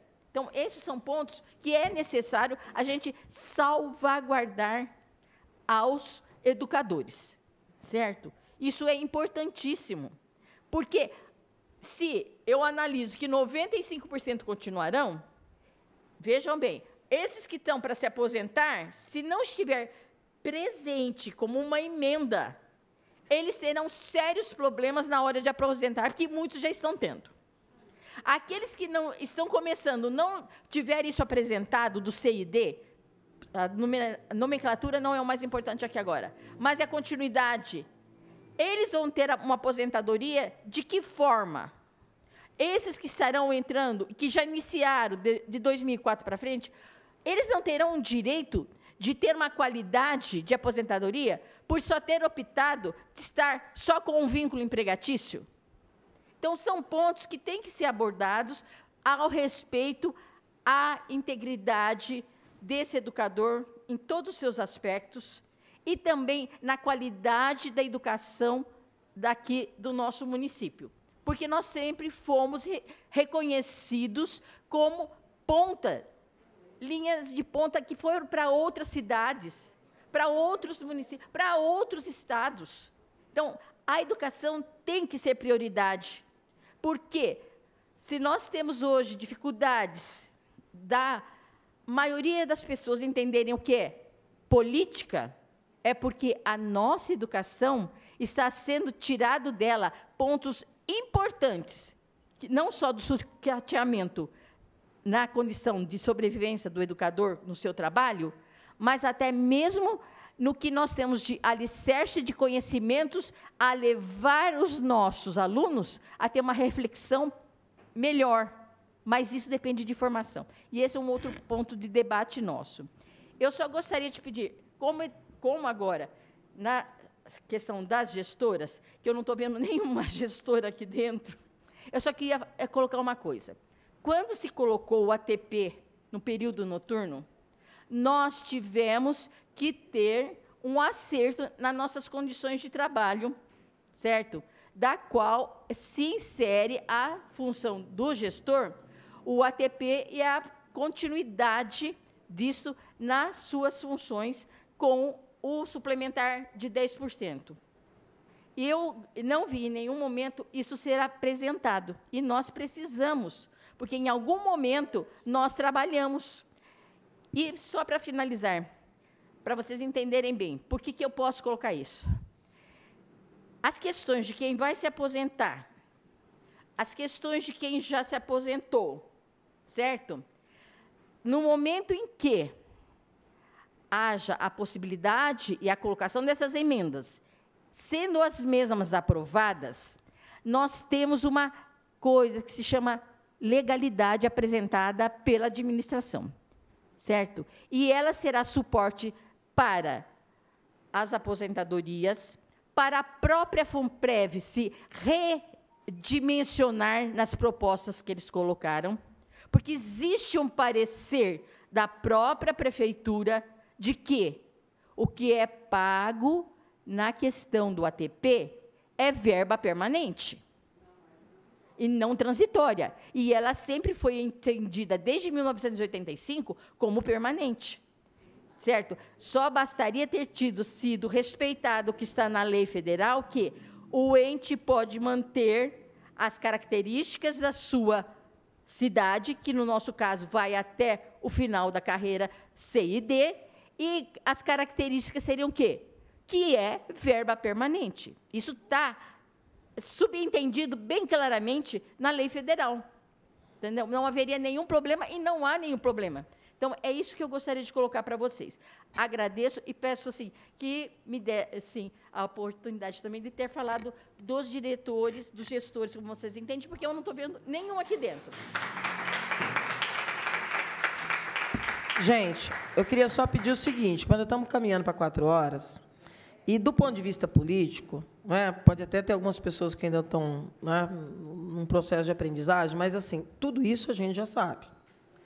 O que, que eu preciso pedir? Que as falas sejam direcionadas, inclusive vocês podem propor, né, vereador Meira? Vocês podem redigir. A ideia nossa aqui é debater o que será apresentado como emenda. Toda essa compreensão política elogiosa é, da fala da Renata, é, nós já temos, nós já sabemos. É por isso que nós estamos conversando aqui. O que, que a gente precisa? Nós precisamos objetivamente. O que, que nós vamos apresentar como emenda? Entende? Nós precisamos focar isso aqui para todo mundo poder ter oportunidade de falar, até porque nós não temos muito tempo é, de utilização aqui ainda do, do plenário. Como nós não teremos tempo na segunda-feira, salvo melhor juízo, e nós teremos que discutir entre nós, seria importante que aqueles que estão aqui focassem na apresentação. Isso precisa ser tirado, aquilo precisa ser modificado, eu quero fazer uma proposta assim, um assado. Ok? Kel? Ah, tá. Beleza. Oi? Pode falar. Pode falar. Vem na tribuna, é melhor. Você também?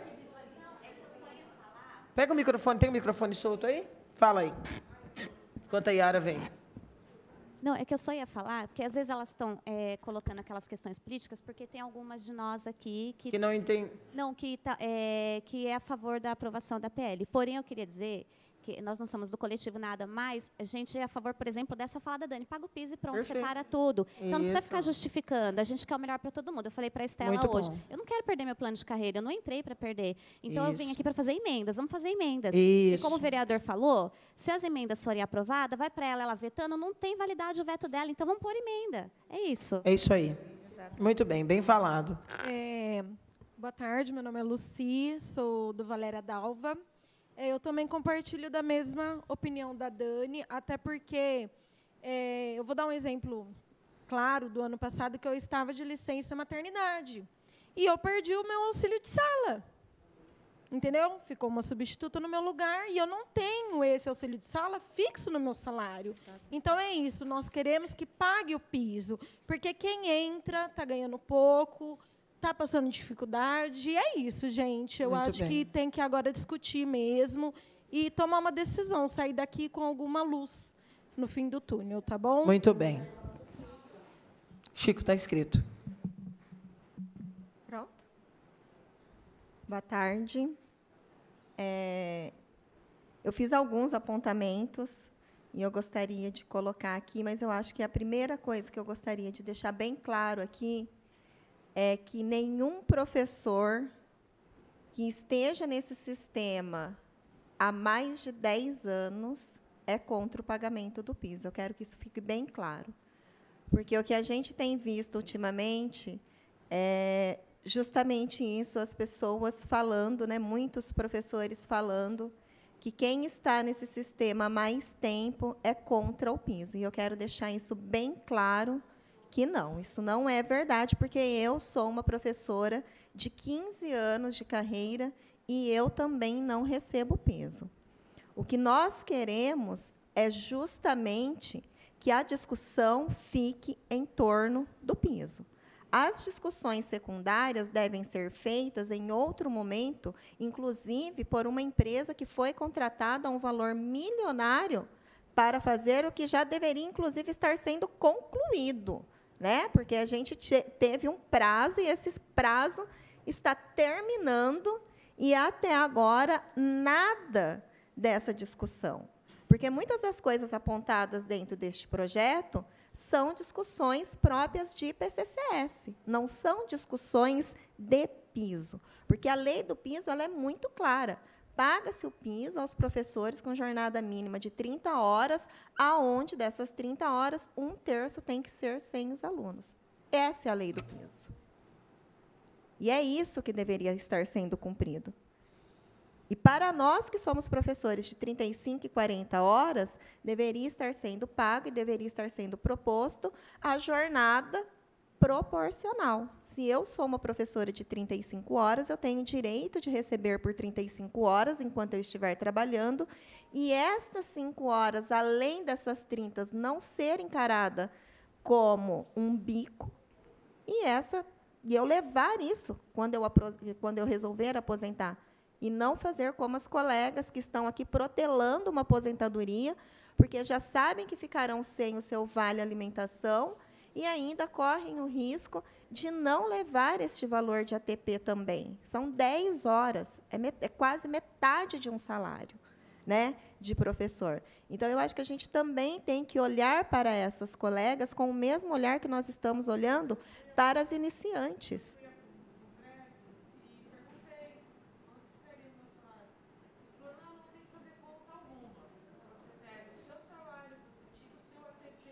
E esse é o seu é isso. Isso mesmo. Então, assim, baseado em tudo isso, e para ser bem pragmática, é, as, as alterações elas começam no artigo 6 no parágrafo 2 aonde todos os níveis colocam como duas horas e meia de ATPC. Gente, o ATPC de duas horas que nós temos hoje foi um ganho de greve, foi um acordo de greve. Nós não podemos retroceder nesse sentido.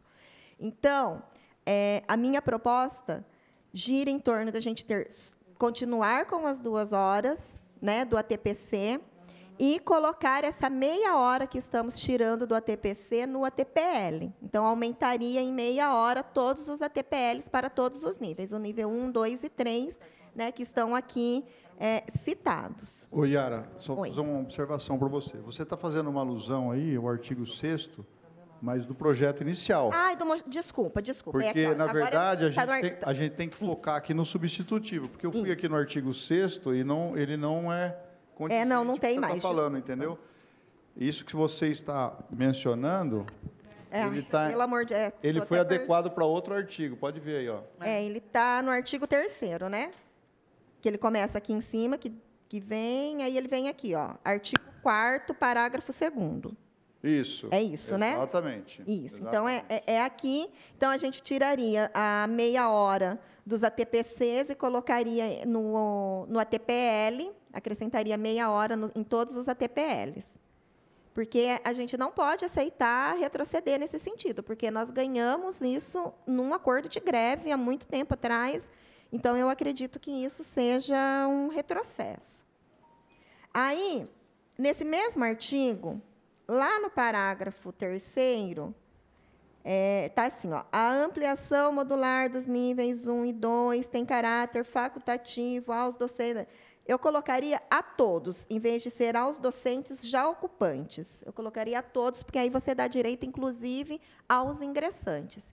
E eu tiraria o parágrafo quarto, que este é aquele que fala é, que apenas quem já faz parte desse sistema que pode fazer as evoluções dos níveis. E, e não é isso que a gente pretende. A gente pretende que, inclusive, os ingressantes é, tenham a oportunidade de seguir carreira, de chegar aos níveis 2 e 3 e não estagnar apenas no nível 1. Isso, isso mesmo.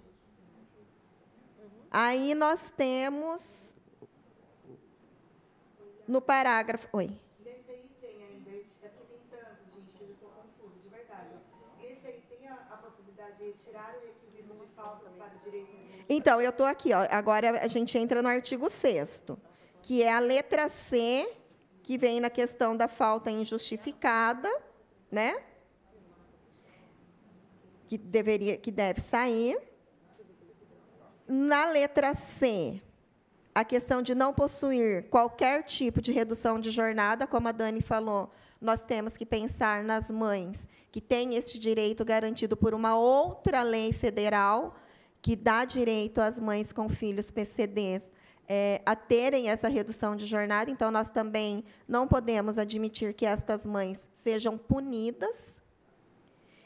A letra F, ela teria que ser suprimida inteira, retirada, porque exatamente são as faltas interpoladas, tirar tudo.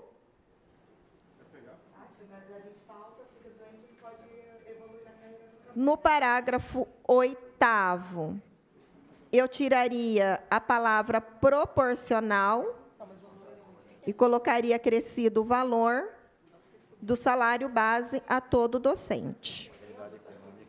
É isso.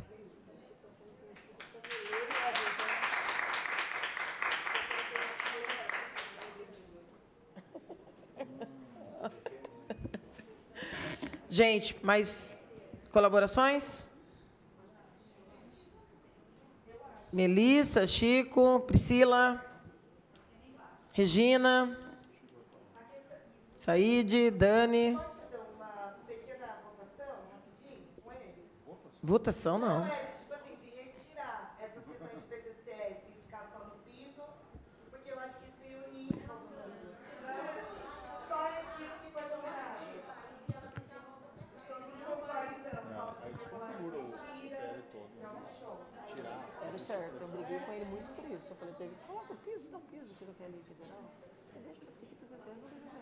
Ele não quis.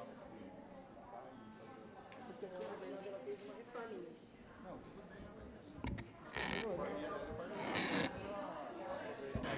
Pode falar, Chico. Pode, pode ir para a tribuna.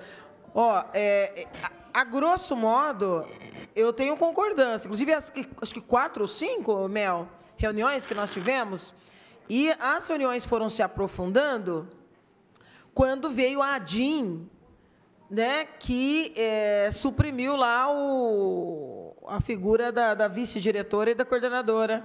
É? E aí começamos uma série de discussões. E eu acho, viu, Mel, estou convencida que a partir daqueles debates que era, eram específicos, acabou se misturando o debate do piso e acabou se transformando no reconhecimento do piso com uma mini reforminha do PCCS. Realmente isso aconteceu. O, o, a grosso modo, de novo, o mais simples seria realmente garantir-se o piso e deixar esse segundo debate para depois. Temores é que a gente tenha menor respaldo interno para aprovação se nós, é, pelo bem do próprio PL, desfigurarmos o PL. Né? Quer dizer, vamos tirar tudo isso aqui e deixar só o piso. Então, talvez a gente não tenha a acolhida necessária. Então, talvez sedimentar alterações nos, nos itens mais graves não é? É, seja um caminho mais interessante para a gente poder não defender aqui na segunda uma postura intransigente que possa nos levar a sair derrotados, porque aí a tendência é que o PL fique como está. É, e isso é eu entendo que tirante o piso seria ruim por vários aspectos. Chico. É, boa tarde a todos e todas. Né, quero saudar aqui todos os servidores, né, lutadores que continuam, continuam em greve, né, apesar de toda a truculência que a gente vem recebendo, não só do poder é, executivo municipal, mas agora né, do poder judiciário, onde a gente vê que cada vez mais tanto a justiça como, como a justiça do trabalho tem se portado no sentido de acabar com a greve dos servidores públicos dos servidores públicos em geral, com estabelecimento de percentuais que mitigam sobremaneira o direito de greve que é constitucional.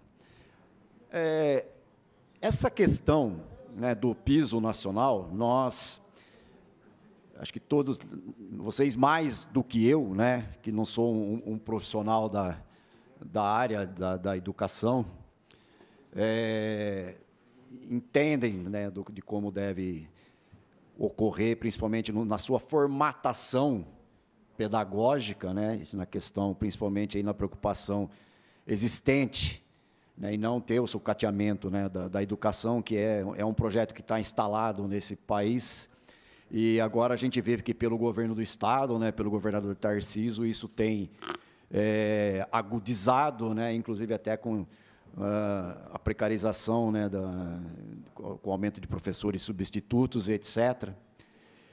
E isso debateria, a gente vem tentando fazer isso há muitos anos com o Poder Executivo, para que essa formatação do piso chegasse aqui numa, situa numa situação né, que contemplassem a todos, ou, ou, seja, naquela situação ideal que não souber, houvesse brechas aí, né, ou margem para que né, não, não, se contemplasse todos e principalmente para que se a gente é, tenha que ir no Poder Judiciário para né, discutir coisas que a gente não sabe qual vai ser o resultado. Nós judicializamos né, essa questão do piso, né? E tivemos uma decisão judicial, naquele momento de primeira instância. E eu né, sempre disse, né, comentei com vários professores que, estavam militando nesse, nessa discussão do piso, que, que, a gente podia ter algum problema no, em grau de recurso, né, é, em relação ao eventual recurso da prefeitura, que foi feito em cima da hora, no último minuto né, do prazo, ela manejou esse recurso. Então, hoje, é, fizemos a greve da educação, né, tínhamos três pontos que foram discutidos pela categoria, que foram levados né, para. que motivaram até a, a deflagração da greve. Né, aqueles três pontos foram levados para a prefeita, ela se comprometeu a analisar, né, ela não analisou brevemente, depois né, fomos lá, cobramos uma resposta e ela recusou formalmente a, a introduzir né, no, no, no texto aqueles três pontos. É fato também que nós estamos vivendo, né, aqui nessa cidade, uma situação é, embora né, histórica, mas muito negativa né, para o âmbito dos poderes. É só quem pôde, quem estava aqui, ou quem assistiu, ou quem leu sobre aquilo que aconteceu segunda-feira aqui, né, faz, é, tem ideia né, do que a, a prefeita Sueli Rosinha e seu grupo, né, esses forasteiros que estão aqui na cidade, né, com todo o poder que eles têm, né, são capazes.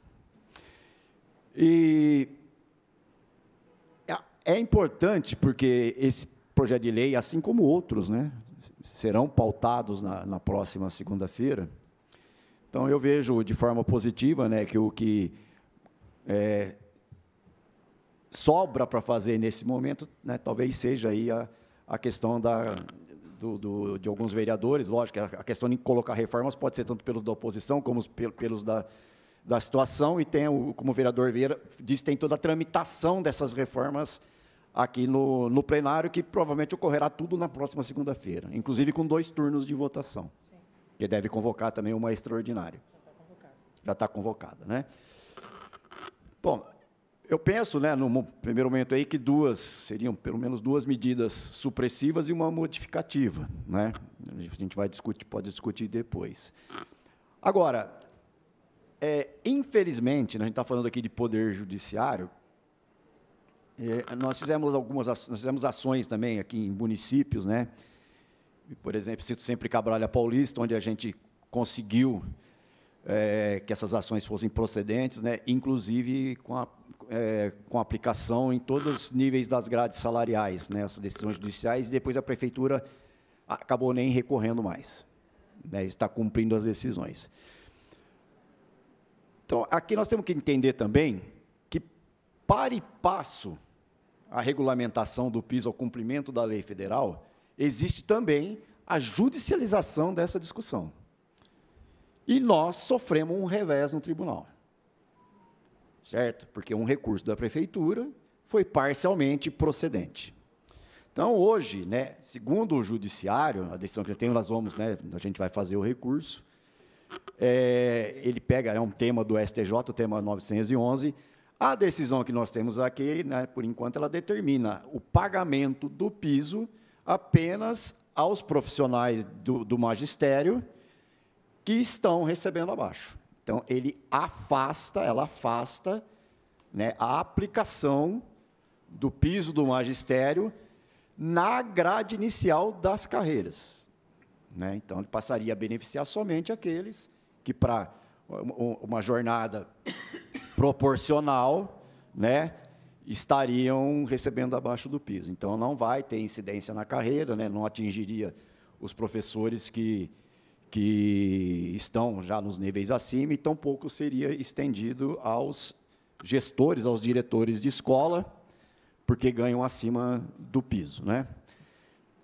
Então, eu, é, é salutar que, se a gente conseguir né, melhorar a redação desse projeto de lei através das proposituras né, de emendas, como é a intenção aqui, isso passa a ser importante, até porque, né, se nós avançarmos, é, se, se não houver uma discussão, uma aprovação de um projeto de lei nesse sentido até final de junho, nós provavelmente não conseguiremos fazer isso, ter essa, esse pagamento, né, nesse ano de 2024. Então, é, é, importante que isso a gente consiga colocar todas as questões aí através de emendas. É isso. Obrigado. Muito bem, Chico. E, e você fica à vontade, viu, Chico? Até porque, antes mesmo do travamento, eu e o vereador Mira já tínhamos te falado que, com o acompanhamento da, da, da, da propositura da ação, com a primeira decisão, com a reforma, você também está acompanhando isso detidamente, tanto quanto a gente que você, enquanto jurídico, doutor Júlio, poderiam e podem ainda é, propor essas emendas para a gente. Né? Vocês acompanharam esse debate, né? é, assim como a Yara, que eu vi que colocou no papel, assim como a Dani, que eu vi aqui que colocou. É, não sei se há outros casos, a Renata fez algumas considerações, não sei se colocou no papel, mas assim seria importante para a gente que aquelas sugestões que vocês já tenham, vocês digitalizem, não é? digitem e digitalizem, nos mandem por e-mail ou por WhatsApp, é? de preferência até amanhã, porque as nossas reuniões se darão provavelmente no final de semana, para que a gente chegue na segunda-feira aqui com algumas costuras também com os vereadores da casa, argumentando, né, seja situação ou oposição, pela aprovação, porque ó, vai melhorar, não vai piorar em nada, né? É mero capricho não atender, né? Então, assim, seria importante que isso acontecesse. Chico. É, só complementando, né, eu coloco essa questão, né, eu acho que tem, tem, que fazer esses apontamentos do ponto de vista jurídico, até porque é o meu lugar né, de fala, de educação, vocês entendem muito mais Sim. do que eu. E, e também, né, como a gente sabe que uh, não há todos, muitos profissionais não podem estar aqui agora, que também, se tiverem ideias, se tiveram propostas de vendas, que enviem aqui para o Legislativo. Tá? Por isso que eu fiz questão, inclusive, que fosse aqui, quando liberou o plenário, ao invés de fazer no sindicato, pela possibilidade de transmitir, vai ficar no site, as pessoas vão poder ver, vão ouvir, não é? Então, já deixar claro aqui que, independente dos que compareceram, do que estão, dos que estão acompanhando pelo Zoom, dos que estão acompanhando a programação, é, podem nos enviar essas contribuições até amanhã. Claro que até segunda, de repente, alguma coisa você consegue encaixar, mas seria interessante, já que esse assunto também não é novo, né? Nós estamos há muito tempo nisso, dá para a gente ver muito claramente quais são os problemas, né? que essas correções na, for, na forma de emendas possam ser redigidas e propostas e nos enviada até amanhã. Seria importante, porque aí, se a gente conseguir se reunir no final de semana, fica mais fácil da gente ir buscando, entre os vereadores da casa, o apoio para que essas emendas possam ser aprovadas, não é? E aí, depois de feitas, direitinho, de acordo com as regras internas aqui, aí a gente compartilha amplamente para as pessoas que vão vir. Sei que vocês vão estar aqui, outros estarão aqui. É, não sei em que pé estará a greve na segunda-feira. Sei que é um horário ingrato da sessão, vai estar em pé?